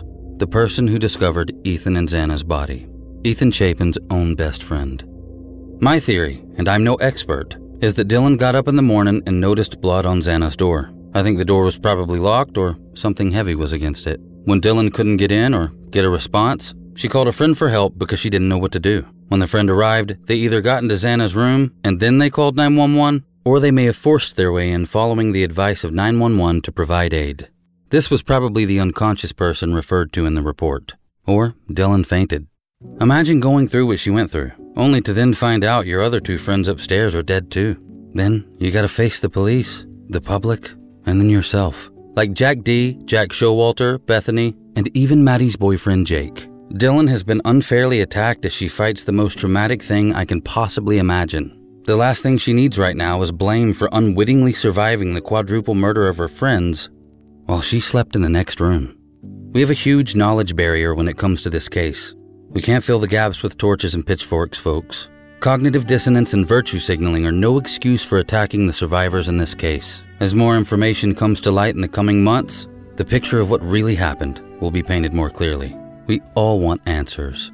We all want to know what really happened. We won't get there by attacking survivors. Not enough evidence or details have been released that would warrant anyone attacking Dylan Mortensen. Dylan, I hope you get the help and support you deserve during these trying times. Investigators were able to pull a latent shoe print outside of Dylan's doorway, which confirmed her story about seeing the killer walk past her doorway. The affidavit continues stating that after leaving the scene at a high rate of speed at 4:20 a.m., the white Elantra was picked up on 5 different surveillance cameras returning to Pullman, Washington at 5:25 a.m. and seen again at 5:27 a.m. a little over an hour after leaving the King Road residence. But what is interesting is the drive from Pullman to Moscow and reversed is not an hour long if you're going straight there. The route the Elantra allegedly took made a detour. Was this an effort to evade traffic cameras or an alternative route to maybe dispose of evidence along the way? The police had the connection of the white Elantra to the house and now had a suspect in custody. But when did this investigation lead officers to Bryan Kohberger as being their suspect? How was he connected? Just a couple of weeks after the murders, on November 29, 2022, a police officer from WSU got a hit on a white Elantra registered to somebody by the name of Bryan Kohberger. Later that day, the officer went out to see the car and ran its license plate. The vehicle was registered in Washington and did not match the description of the white Elantra without the front license plate that the police were looking for. However, Bryan's driver's license picture and height information were eerily similar to the roommate Dylan's description of who she saw leaving the house that night. And while investigating further, police discovered that coincidentally, on November 18, 2022, five days after the murders, Bryan registered his car with Washington and got a new license plate number. Prior to this time, the 2015 white Elantra was registered in Pennsylvania, which does not require a front license plate be displayed. Investigators took this information and began tracking Bryan's movements and zeroing in on their suspect. As the investigation continued, Bryan finished out the rest of the semester of his criminology PhD at WSU, and at the end of the semester, Bryan's dad flew from Pennsylvania to Washington, and the two of them drove together in that Elantra from Washington to Pennsylvania for winter break. Bryan's public defender in Pennsylvania, Jason LaBar, said that this was a planned trip all along between Bryan and his father that they had planned for months prior. Unbeknownst to Bryan, investigators had already started looking into him, and they were tracking his movements with his car. On December 13, 2022, the vehicle was captured by a license plate reader in Colorado, and on December 15th, it was captured again when it was run by police that pulled him over in Hancock, Indiana, while on that cross country road trip with his father. Body cam footage from one of those stops came out, and you can hear more of what is going on in this stop. In this video, Bryan just keeps talking about Thai food. Thai food, Thai food, we're going to get Thai food. And then when the officer asks where they're headed, he doesn't give him the final destination. Finally, Bryan's dad jumps in and says, Well, we're going to Pennsylvania. And Bryan seemed very caught off guard when his dad said this, as you can see through his facial expressions in this video when it slowed down. Although investigators were confident that they had their guy, they still didn't have enough evidence to make an arrest. So they continued to monitor Bryan's movements. While Bryan was at his parents' house in Pennsylvania, investigators watched and waited until it was late night and dark outside, and Bryan allegedly began deep cleaning the interior and exterior of his car wearing latex gloves. He also allegedly took bags of trash and dumped them in his neighbor's trash can. Little did he know, this would be what police needed to make that arrest. Remember the knife sheath collected by officers at the scene that had that single source of male DNA on the snap button? With that trash recovered from Bryan's parents' house in Pennsylvania, the FBI was able to determine whose DNA was on the sheath using genealogical DNA. The results indicated that the DNA from the trash can was within at least a 99.9998% certainty of the suspect's father meaning that the trash DNA was from Bryan's dad. And after testing, it was clear that he was the father of whoever's DNA was on that knife sheath. When the results came back as a match, police were able to secure that arrest warrant and they made the arrest of Bryan Kohberger. And DNA wasn't all that investigators had at this point in terms of probable cause for making that arrest of Bryan. They had digital evidence as well. According to the affidavit, on August 21, 2022, Bryan was pulled over for a traffic stop and gave police his phone number. So police used that phone number for search warrants to look at cell tower activity, more specifically, Bryan's cell tower activity. Cell tower showed that Bryan's phone was not in the area of the King Road residence between 3 a.m. and 5 a.m. while the murders occurred. But there was an emphasized statement in the affidavit, which read Individuals can either leave their cellular telephone at a different location before committing a crime or turn their cellular telephone off prior to going to a location to commit a crime. This is done by suspects in an effort to avoid alerting law enforcement that a cellular device associated with them was in the particular area where a crime is committed. It also says that on numerous occasions, investigators know that subjects will surveil an area where they intend to commit a crime prior to the date of the crime, and that depending on the circumstances, this could be done from a few days prior to several months prior to the commission of a crime. And that very oftentimes during these types of surveillance, it's possible that the individual does not leave their cellular telephone at a separate location or turn it off since they don't plan to commit the crime on that particular day. So by all accounts this indicated that Bryan did in fact shut off his phone during the time frame of the murders. But police weren't going to let it go, and they suspected that he may have left his phone on during another visit that he made to the home. And it turned out that their hunch was correct. The cell data revealed that Bryan's phone pinged in the area of 1122 King Road 12 times prior to the murders. All of the times visited were either late evening or early morning. In addition, Cell data showed Bryan's phone was pinging along his route on November 13, 2022, from Pullman to Moscow, then shut off while at the house, and then turned back on again as he allegedly drove back to Washington. Later in the morning of November 13th, after the murders, Bryan's phone pinged again near the home at 1122 King Road at 9:12 a.m. and 9:21 a.m leaving many to wonder and speculate if he was returning to the scene of the crime to revel in his glory or his handiwork, or if he returned because he had realized that he left that knife sheath behind and he wanted to retrieve it.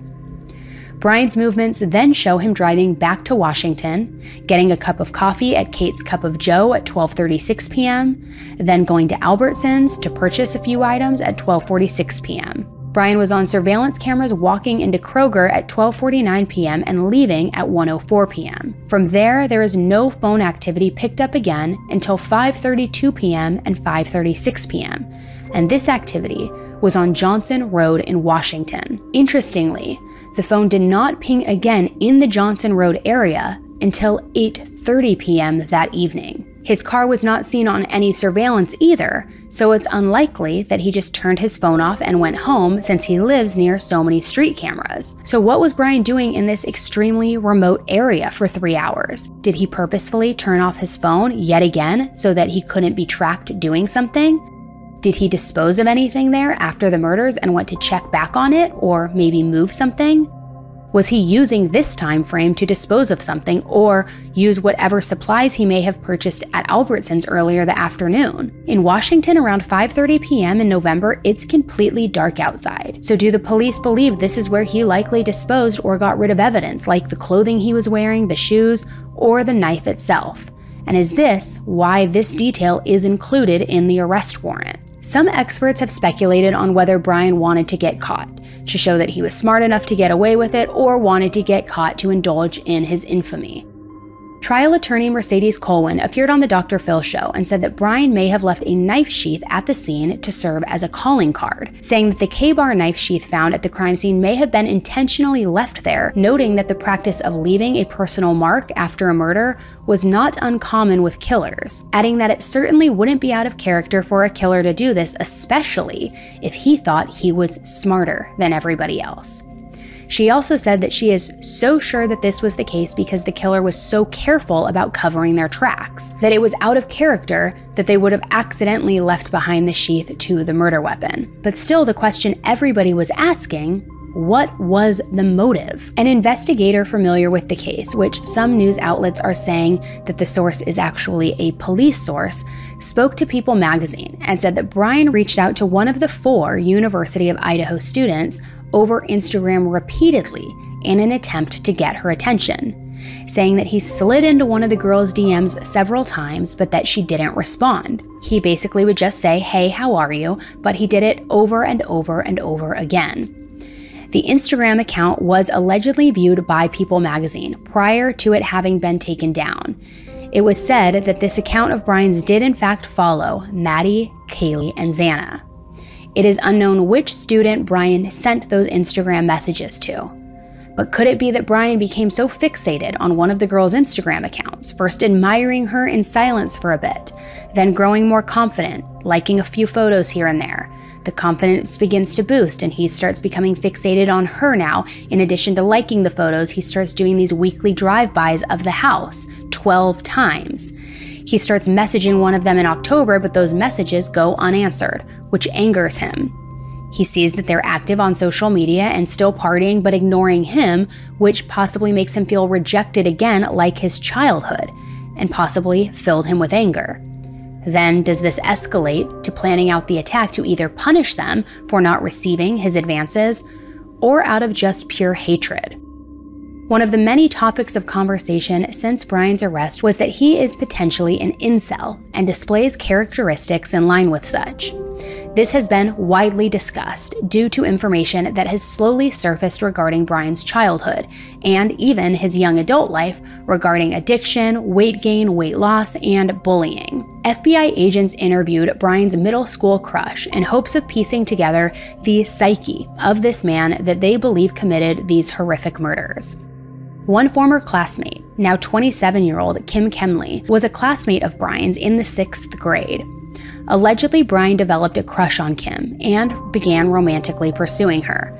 Kim's mom told the FBI that Bryan was a then chubby, awkward misfit who became relentless in his pursuit of Kim saying he would repeatedly leave love letters in her locker and tell her that he liked her and just always say, Oh, Kim, I think you are so very pretty, and other odd comments. Kim would reply saying, Oh my gosh, leave me alone. And her mom said that Kim didn't give Bryan the time of day, but also said when kids are little, they're mean. They don't say, Oh my gosh, thank you for the compliment, but no thank you, I'm not interested. They blow them off and brush them off. Eventually, Kim apparently told Bryan to beat it and that she wasn't interested and it broke his heart. But even more concerning was the discovery of message board type posts from Bryan when he was a child in an online forum website called Tapatalk. Brian made chilling online comments as a teenager, saying he had no emotion and felt little remorse for his actions. In 2011, he said he felt nothing when he looked at his family and that his mind was blank, saying, I feel like a sack of meat. And as I hug my family, I look into their faces, I see nothing. It's like I am looking at a video game, but less. He also talked about the neurological condition called visual snow, where vision is obscured by scattering dots. He said he saw himself as a sickly, tired, useless, and stupid man who was battling the constant thought of taking his own life and did not deserve to live. Saying nothing he does is enjoyable. He's blank. He has no opinion, no emotion. He has nothing. And then he asks people, Can you relate? Former FBI investigator Pete Yachmetz believes that the brutality of the murders and Bryan's history of social challenges may point to a possible motive. He said that he believes the continued stabbing of a victim indicates an uncomfortable rage and extreme anger. So, what does this FBI investigator think the motive was? You guessed it incel. He said, I think he may have developed an incel complex and that the murders may have been an effort to assert some type of dominance. On January 18, 2023, the search warrant was released for the searches of Bryan's apartment in Washington as well as his on campus office. While nothing was reportedly discovered at Bryan's squeaky clean on campus office, his personal residence painted a different picture. According to the search warrant, the Washington State University police seized nine possible hair strands and one possible animal hair strand. Authorities also recovered one nitrile type black glove, one computer tower, as well as one collection of dark red spots and two cuttings from uncased pillows that had reddish and brown stains. These stains indicated possible blood stains and these were sent to a lab for testing, which could all potentially link Bryan Kohberger to the crime scene. According to the New York Post, police also allegedly found shoes with diamond pattern soles matching the footprints that were found at the scene, as well as data compilations of information about the victims. This information, though, was not outlined in the search warrant seizure.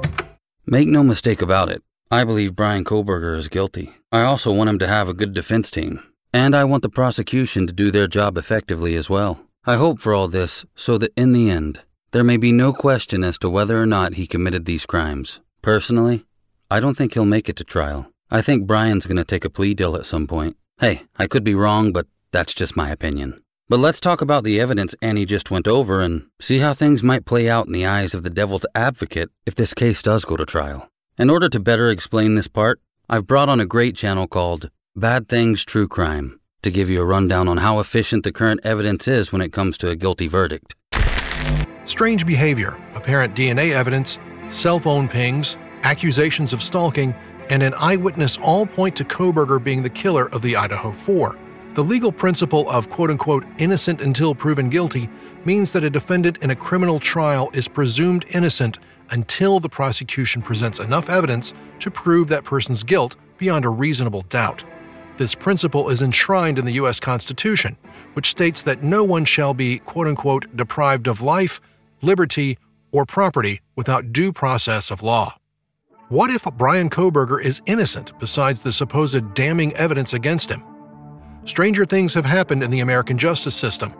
In 1994, prosecutors in the O.J. Simpson case thought they had a match winning touchdown with the evidence they had against Simpson, and we all know how that turned out. Will Kohberger have the same luck?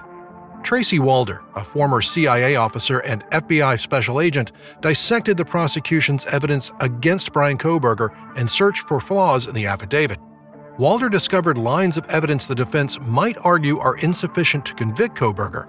The DNA evidence recovered at the crime site, inaccurate cellular tower data, and the eyewitness testimony.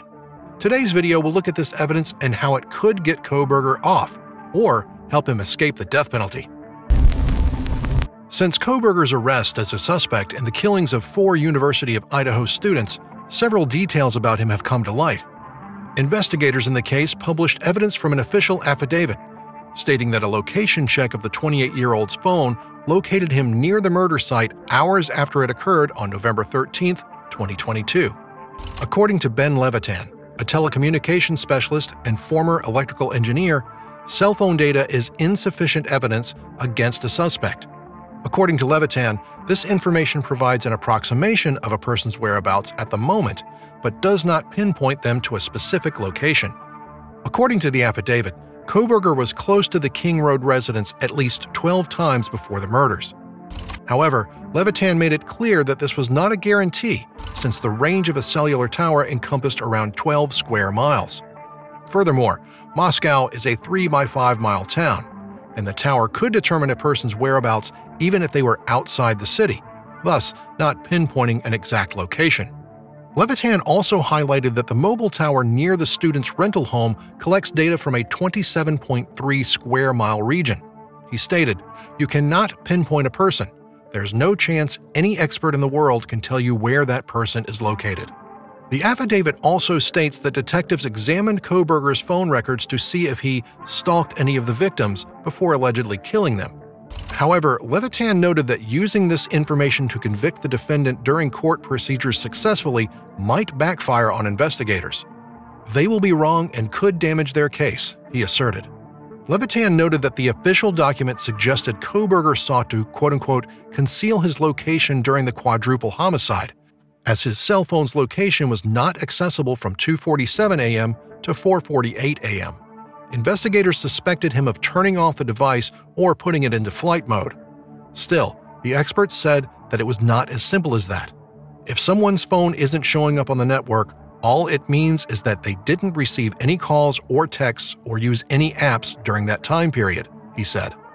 Levitan said that the investigators placed excessive emphasis on the phone data. He said the phone's location information was crucial in a case since it revealed who was not near the crime scene. Cell phone data records as evidence are very reliable and useful, but it's not DNA. It doesn't have the precision that would allow you to pinpoint a person's phone. The best the state can say is that this phone was in a 27 square mile area that includes the crime scene 12 times. People need to stop with the do you even feel empathy for these victims? Does it matter if I do or don't? There's an innocent man who is being accused of something he didn't do. We need to wake up. DNA evidence is not accurate. Wake up. Gosh, you guys are being brainwashed. Bryan Kohberger, if you're reading this, we stand and support you. I love you so much. This Facebook user has popped up in defense and is apparently quote unquote in love with Kohberger. This strange trend of women falling in love with violent criminals is not new and does not make sense to the public. One part of her post stands out and is more understandable to those who follow true crime stories DNA evidence is not accurate. What DNA evidence is there against Kohberger, and how can the defense negate it?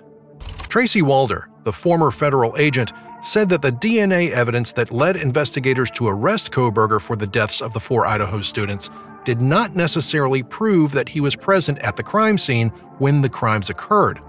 Before he appeared in court, the police issued a shocking probable cause document detailing the evidence that led to his arrest. The police said in the affidavit that the DNA detected on a knife sheath from the crime scene tied Kohberger to the killings. The knife used to kill four students is thought to be a Ka-Bar style fixed blade knife that has not yet been located. On December 27, 2022, detectives stole garbage from the Kohberger family's home in Albrightsville, Pennsylvania, and obtained a DNA sample. The sample from his parents' residence were identical to those found at the crime scene. A DNA profile obtained from the trash and the DNA profile obtained from the sheath identified a male as not being excluded as the biological father of the suspect profile, said a later DNA study. It was stated in the affidavit that at least 99.9998% of the male population would be expected to be excluded from the possibility of being the suspect's biological father. Investigators used Kohberger's father's DNA to identify him as a suspect, as has been done in other cases by using a suspect's family members as a DNA reference. Reflecting on the affidavit's facts, Walder claimed that the DNA evidence did place Kohberger at the murder scene, but he did not specify when he was there. The DNA is nice to have. It puts him at the scene of the crime, but it doesn't put him at the scene of the crime potentially on that day and around that time, she said while adding that this is a hole that can be poked in the prosecution's case. A former federal prosecutor has also said that the affidavit's evidence does not locate Kohberger in that residence on the night of the killings. The prosecutor, Duncan Levin, said, What the evidence seems to show so far is that someone driving his model of car was near the scene, but no camera captured Kohberger driving the car. Was the knife sheath placed at the crime scene to frame Kohberger? According to the affidavit, the surviving housemate is the primary witness who saw the murder. Is one of the two roommates who were not hurt during the knife attack murders on November 13, 2022. In the police affidavit, is referred to by her initials, DM. According to the document made public on January 5, 2023, saw the murderer. However, 911 was not called until 11:58 a.m. Hours later, according to the case webpage on the police website. According to the affidavit, froze before locking her bedroom door. The affidavit states that officials used observations to conclude that the killings happened between 4 and 4:25 a.m. According to an unnamed source, the 8-hour delay in reporting the crime has perplexed law enforcement officials in Idaho and has been something that we have puzzled over. We don't know if it was an issue of intoxication or of fear. Statement and actions may be what Kohberger's defense needs to get him off. Excerpts from one lengthy Reddit post show how the defense might prove that this eyewitness account will not hold up as evidence with a jury. The post starts, quote, DM's story about her actions in the aftermath of the murders has sowed so much doubt in people's minds that it has me thinking it could be disastrous for the prosecution. It doesn't matter if you personally believe her. The fact that this many people heard her story and thought, she's not telling the whole truth, this doesn't add up, could mean a lot of people on the jury might reach the same conclusion. End quote. It continues, quote, Bryan's lawyer just has to sow enough doubt in the minds of the jury for them to decide they can't convict him in good conscience, especially if the state pursues the death penalty. Bryan's lawyer is undoubtedly going to question Dylan on how she could have possibly heard four of her roommates, two of them right across the hall, being brutally slain.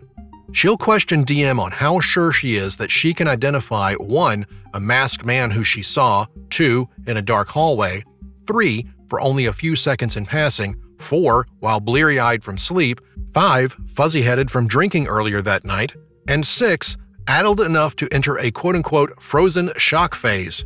Eyewitness testimonies are infamously unreliable, and the circumstances of her sighting make it even more so. The same Redditor brilliantly notes one other reason Kohberger might escape the lethal injection. There's also a well known phenomenon where juries these days harbor unrealistically high expectations for proof in trials due to people being exposed to so many police procedural TV shows that plant the idea in their heads that anything less than extremely damning direct evidence is insufficient. This is a case built on a pile of circumstantial evidence that's questionable enough to be inspiring half of the true crime community to spiral down various conspiracy theory rabbit holes. There are so many opportunities for Bryan's defense to sow doubt in a jury, Dylan's story most of all. He could end up being acquitted after all, in my opinion. Is this enough for Kohberger to walk free? Or does the prosecution have rock solid evidence that Kohberger killed the Idaho Four? So, as you can see, there's a long way to go in this case. Guilty, not guilty, none of us are 100% certain. Again, we just haven't seen all the information. But if you're one of these people writing Bryan love letters, that doesn't surprise me as much as it disgusts me. The same thing happened in the Ted Bundy case, and it was hella evident that he was guilty. Women were actually going to meet him in prison in order to, well, service his needs? Gross. Well, there's stupid people everywhere. These are the type of people that would drown themselves by holding a glass of liquid over their head because someone told them they can't breathe underwater. Let's just call them Darwinians. Sorry, Annie. Back to you.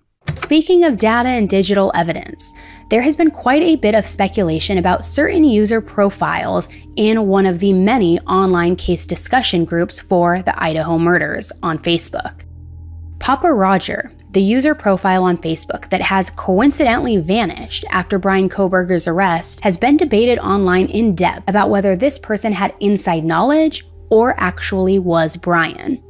And since the release of the arrest warrant on January 5th, there are now a few posts made by that Papa Roger account that many people argue are a little too coincidental for it to be made by somebody other than the person responsible for the homicides. On December 11th, 2022, Papa Rogers asks, How long do we think the killer was inside the house? A few days later, somebody replies and asks, Well, how long do you think? Papa Roger replies back very matter of fact with 15 minutes, which we now know to be accurate based on the affidavit timeline. Papa Roger also accurately predicted the exact route that the Elantra was seen approaching the house, entering the house itself through the sliding glass door, and fleeing the house, even mentioning specific roads, all aligning with details released in the arrest warrant. Papa Roger also correctly predicted on November 30th, 2022, that the killer left behind a knife sheath, a detail that was not made public until January 5th, 2023. And in another chilling detail, on December 22, 2022, Papa Roger shared his beliefs on where the location of the bodies were found, all of which were correct, including Ethan's body in the hallway, a detail that was not made public until February 2nd, 2023, over a month and a half later. The name of the Facebook account alone, Papa Roger, is a very odd name, right? So could this be a reference to infamous incel Elliot Rodger? Elliot Rodger was a 22 year old who murdered six people and injured over a dozen before taking his own life back in 2014. His motive was simple. He was a misogynist who hated women and was frustrated by the lack of action in his own dating life. He was one of the most notorious incels, and unfortunately, his actions incited an incel rebellion and there are some extremists that actually believe Elliot was a hero. For a while now, a lot of people have speculated that the person responsible for the senseless and tragic deaths of Ethan, Xana, Maddie, and Kaylee was in fact at the hands of an incel like Elliot Rodger. So, was the killer Pappa Rodger?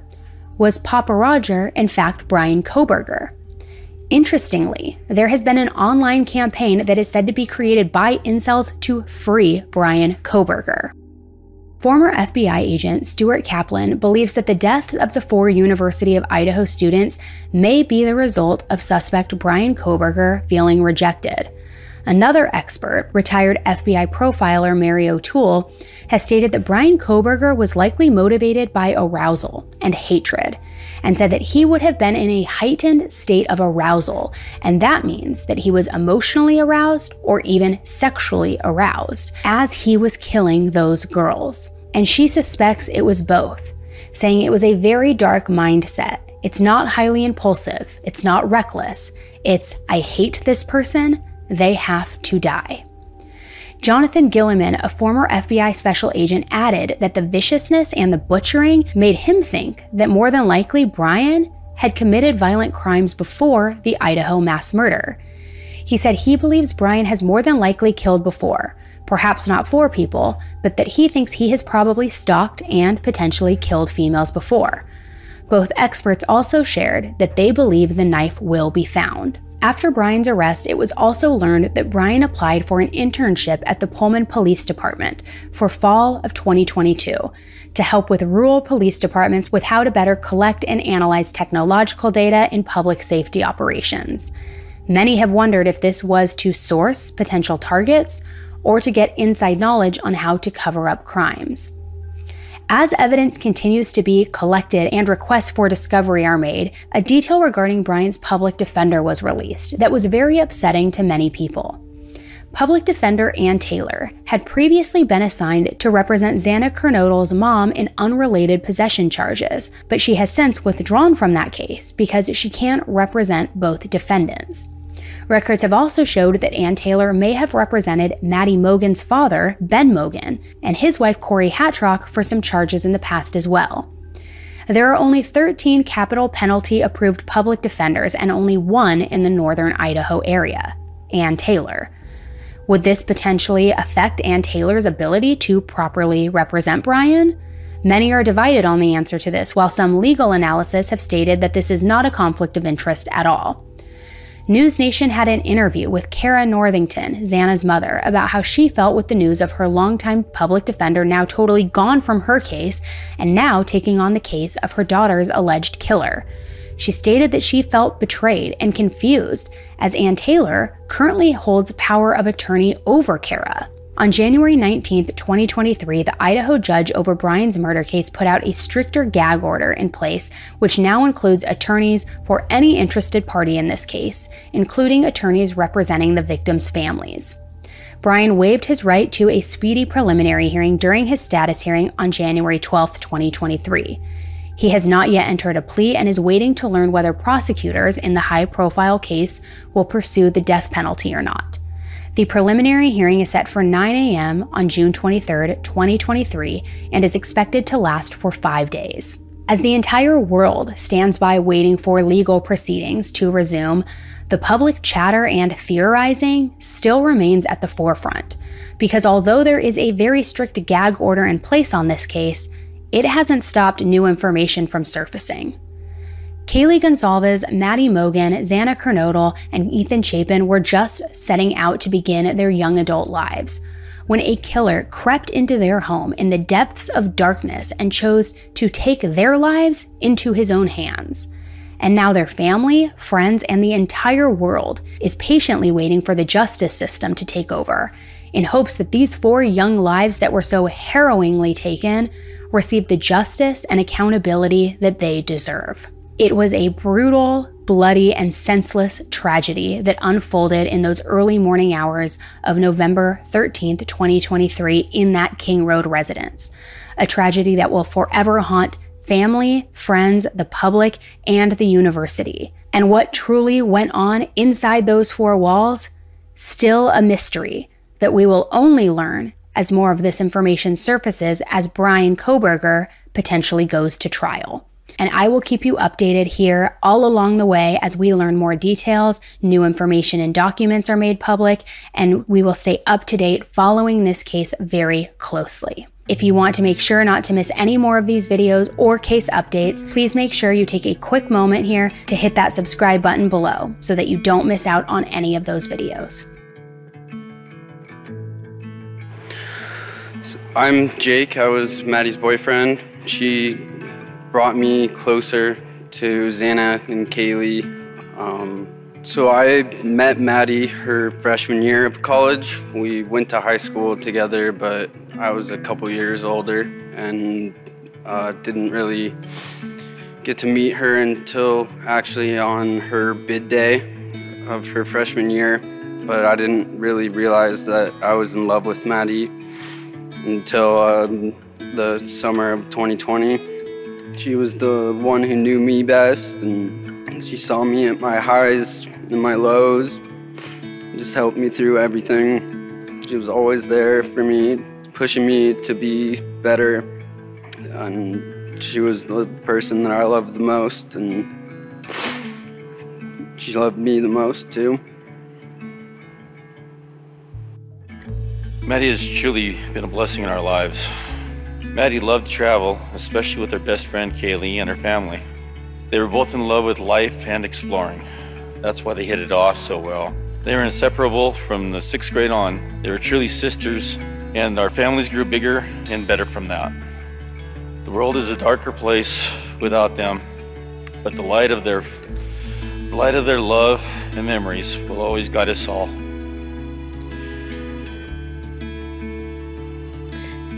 Kaylee was our middle child out of five. He came across this. Going through Kaylee's stuff. It's called Milk and Honey.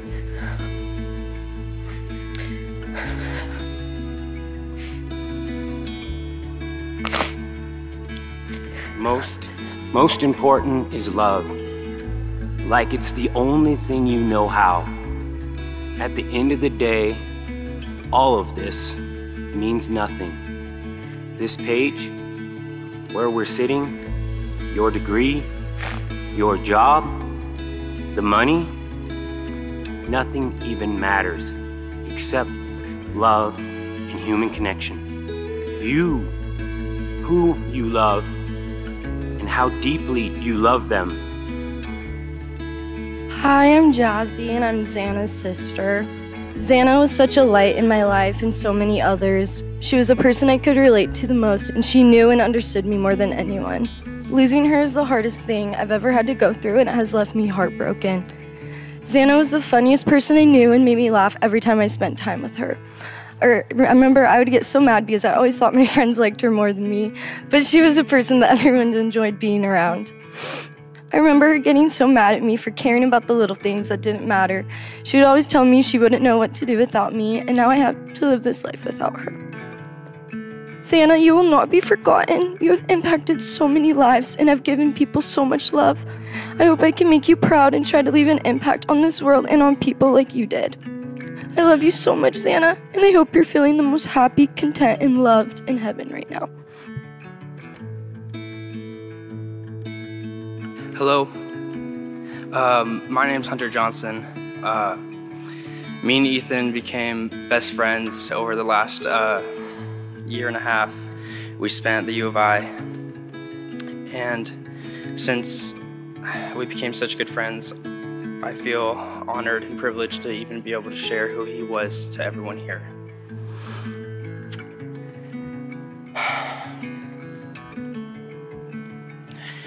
I met Ethan uh, during Fall Rush of last year. He was the first person I talked to during Rush that year, and I knew immediately that he was someone that I wanted to be friends with.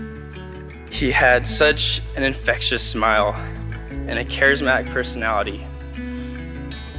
And if you knew anything about Xana as well, they were very similar in how they acted together me and Ethan shared a lot of memories together. Um, I love you so much, E. And Xan. Thank you.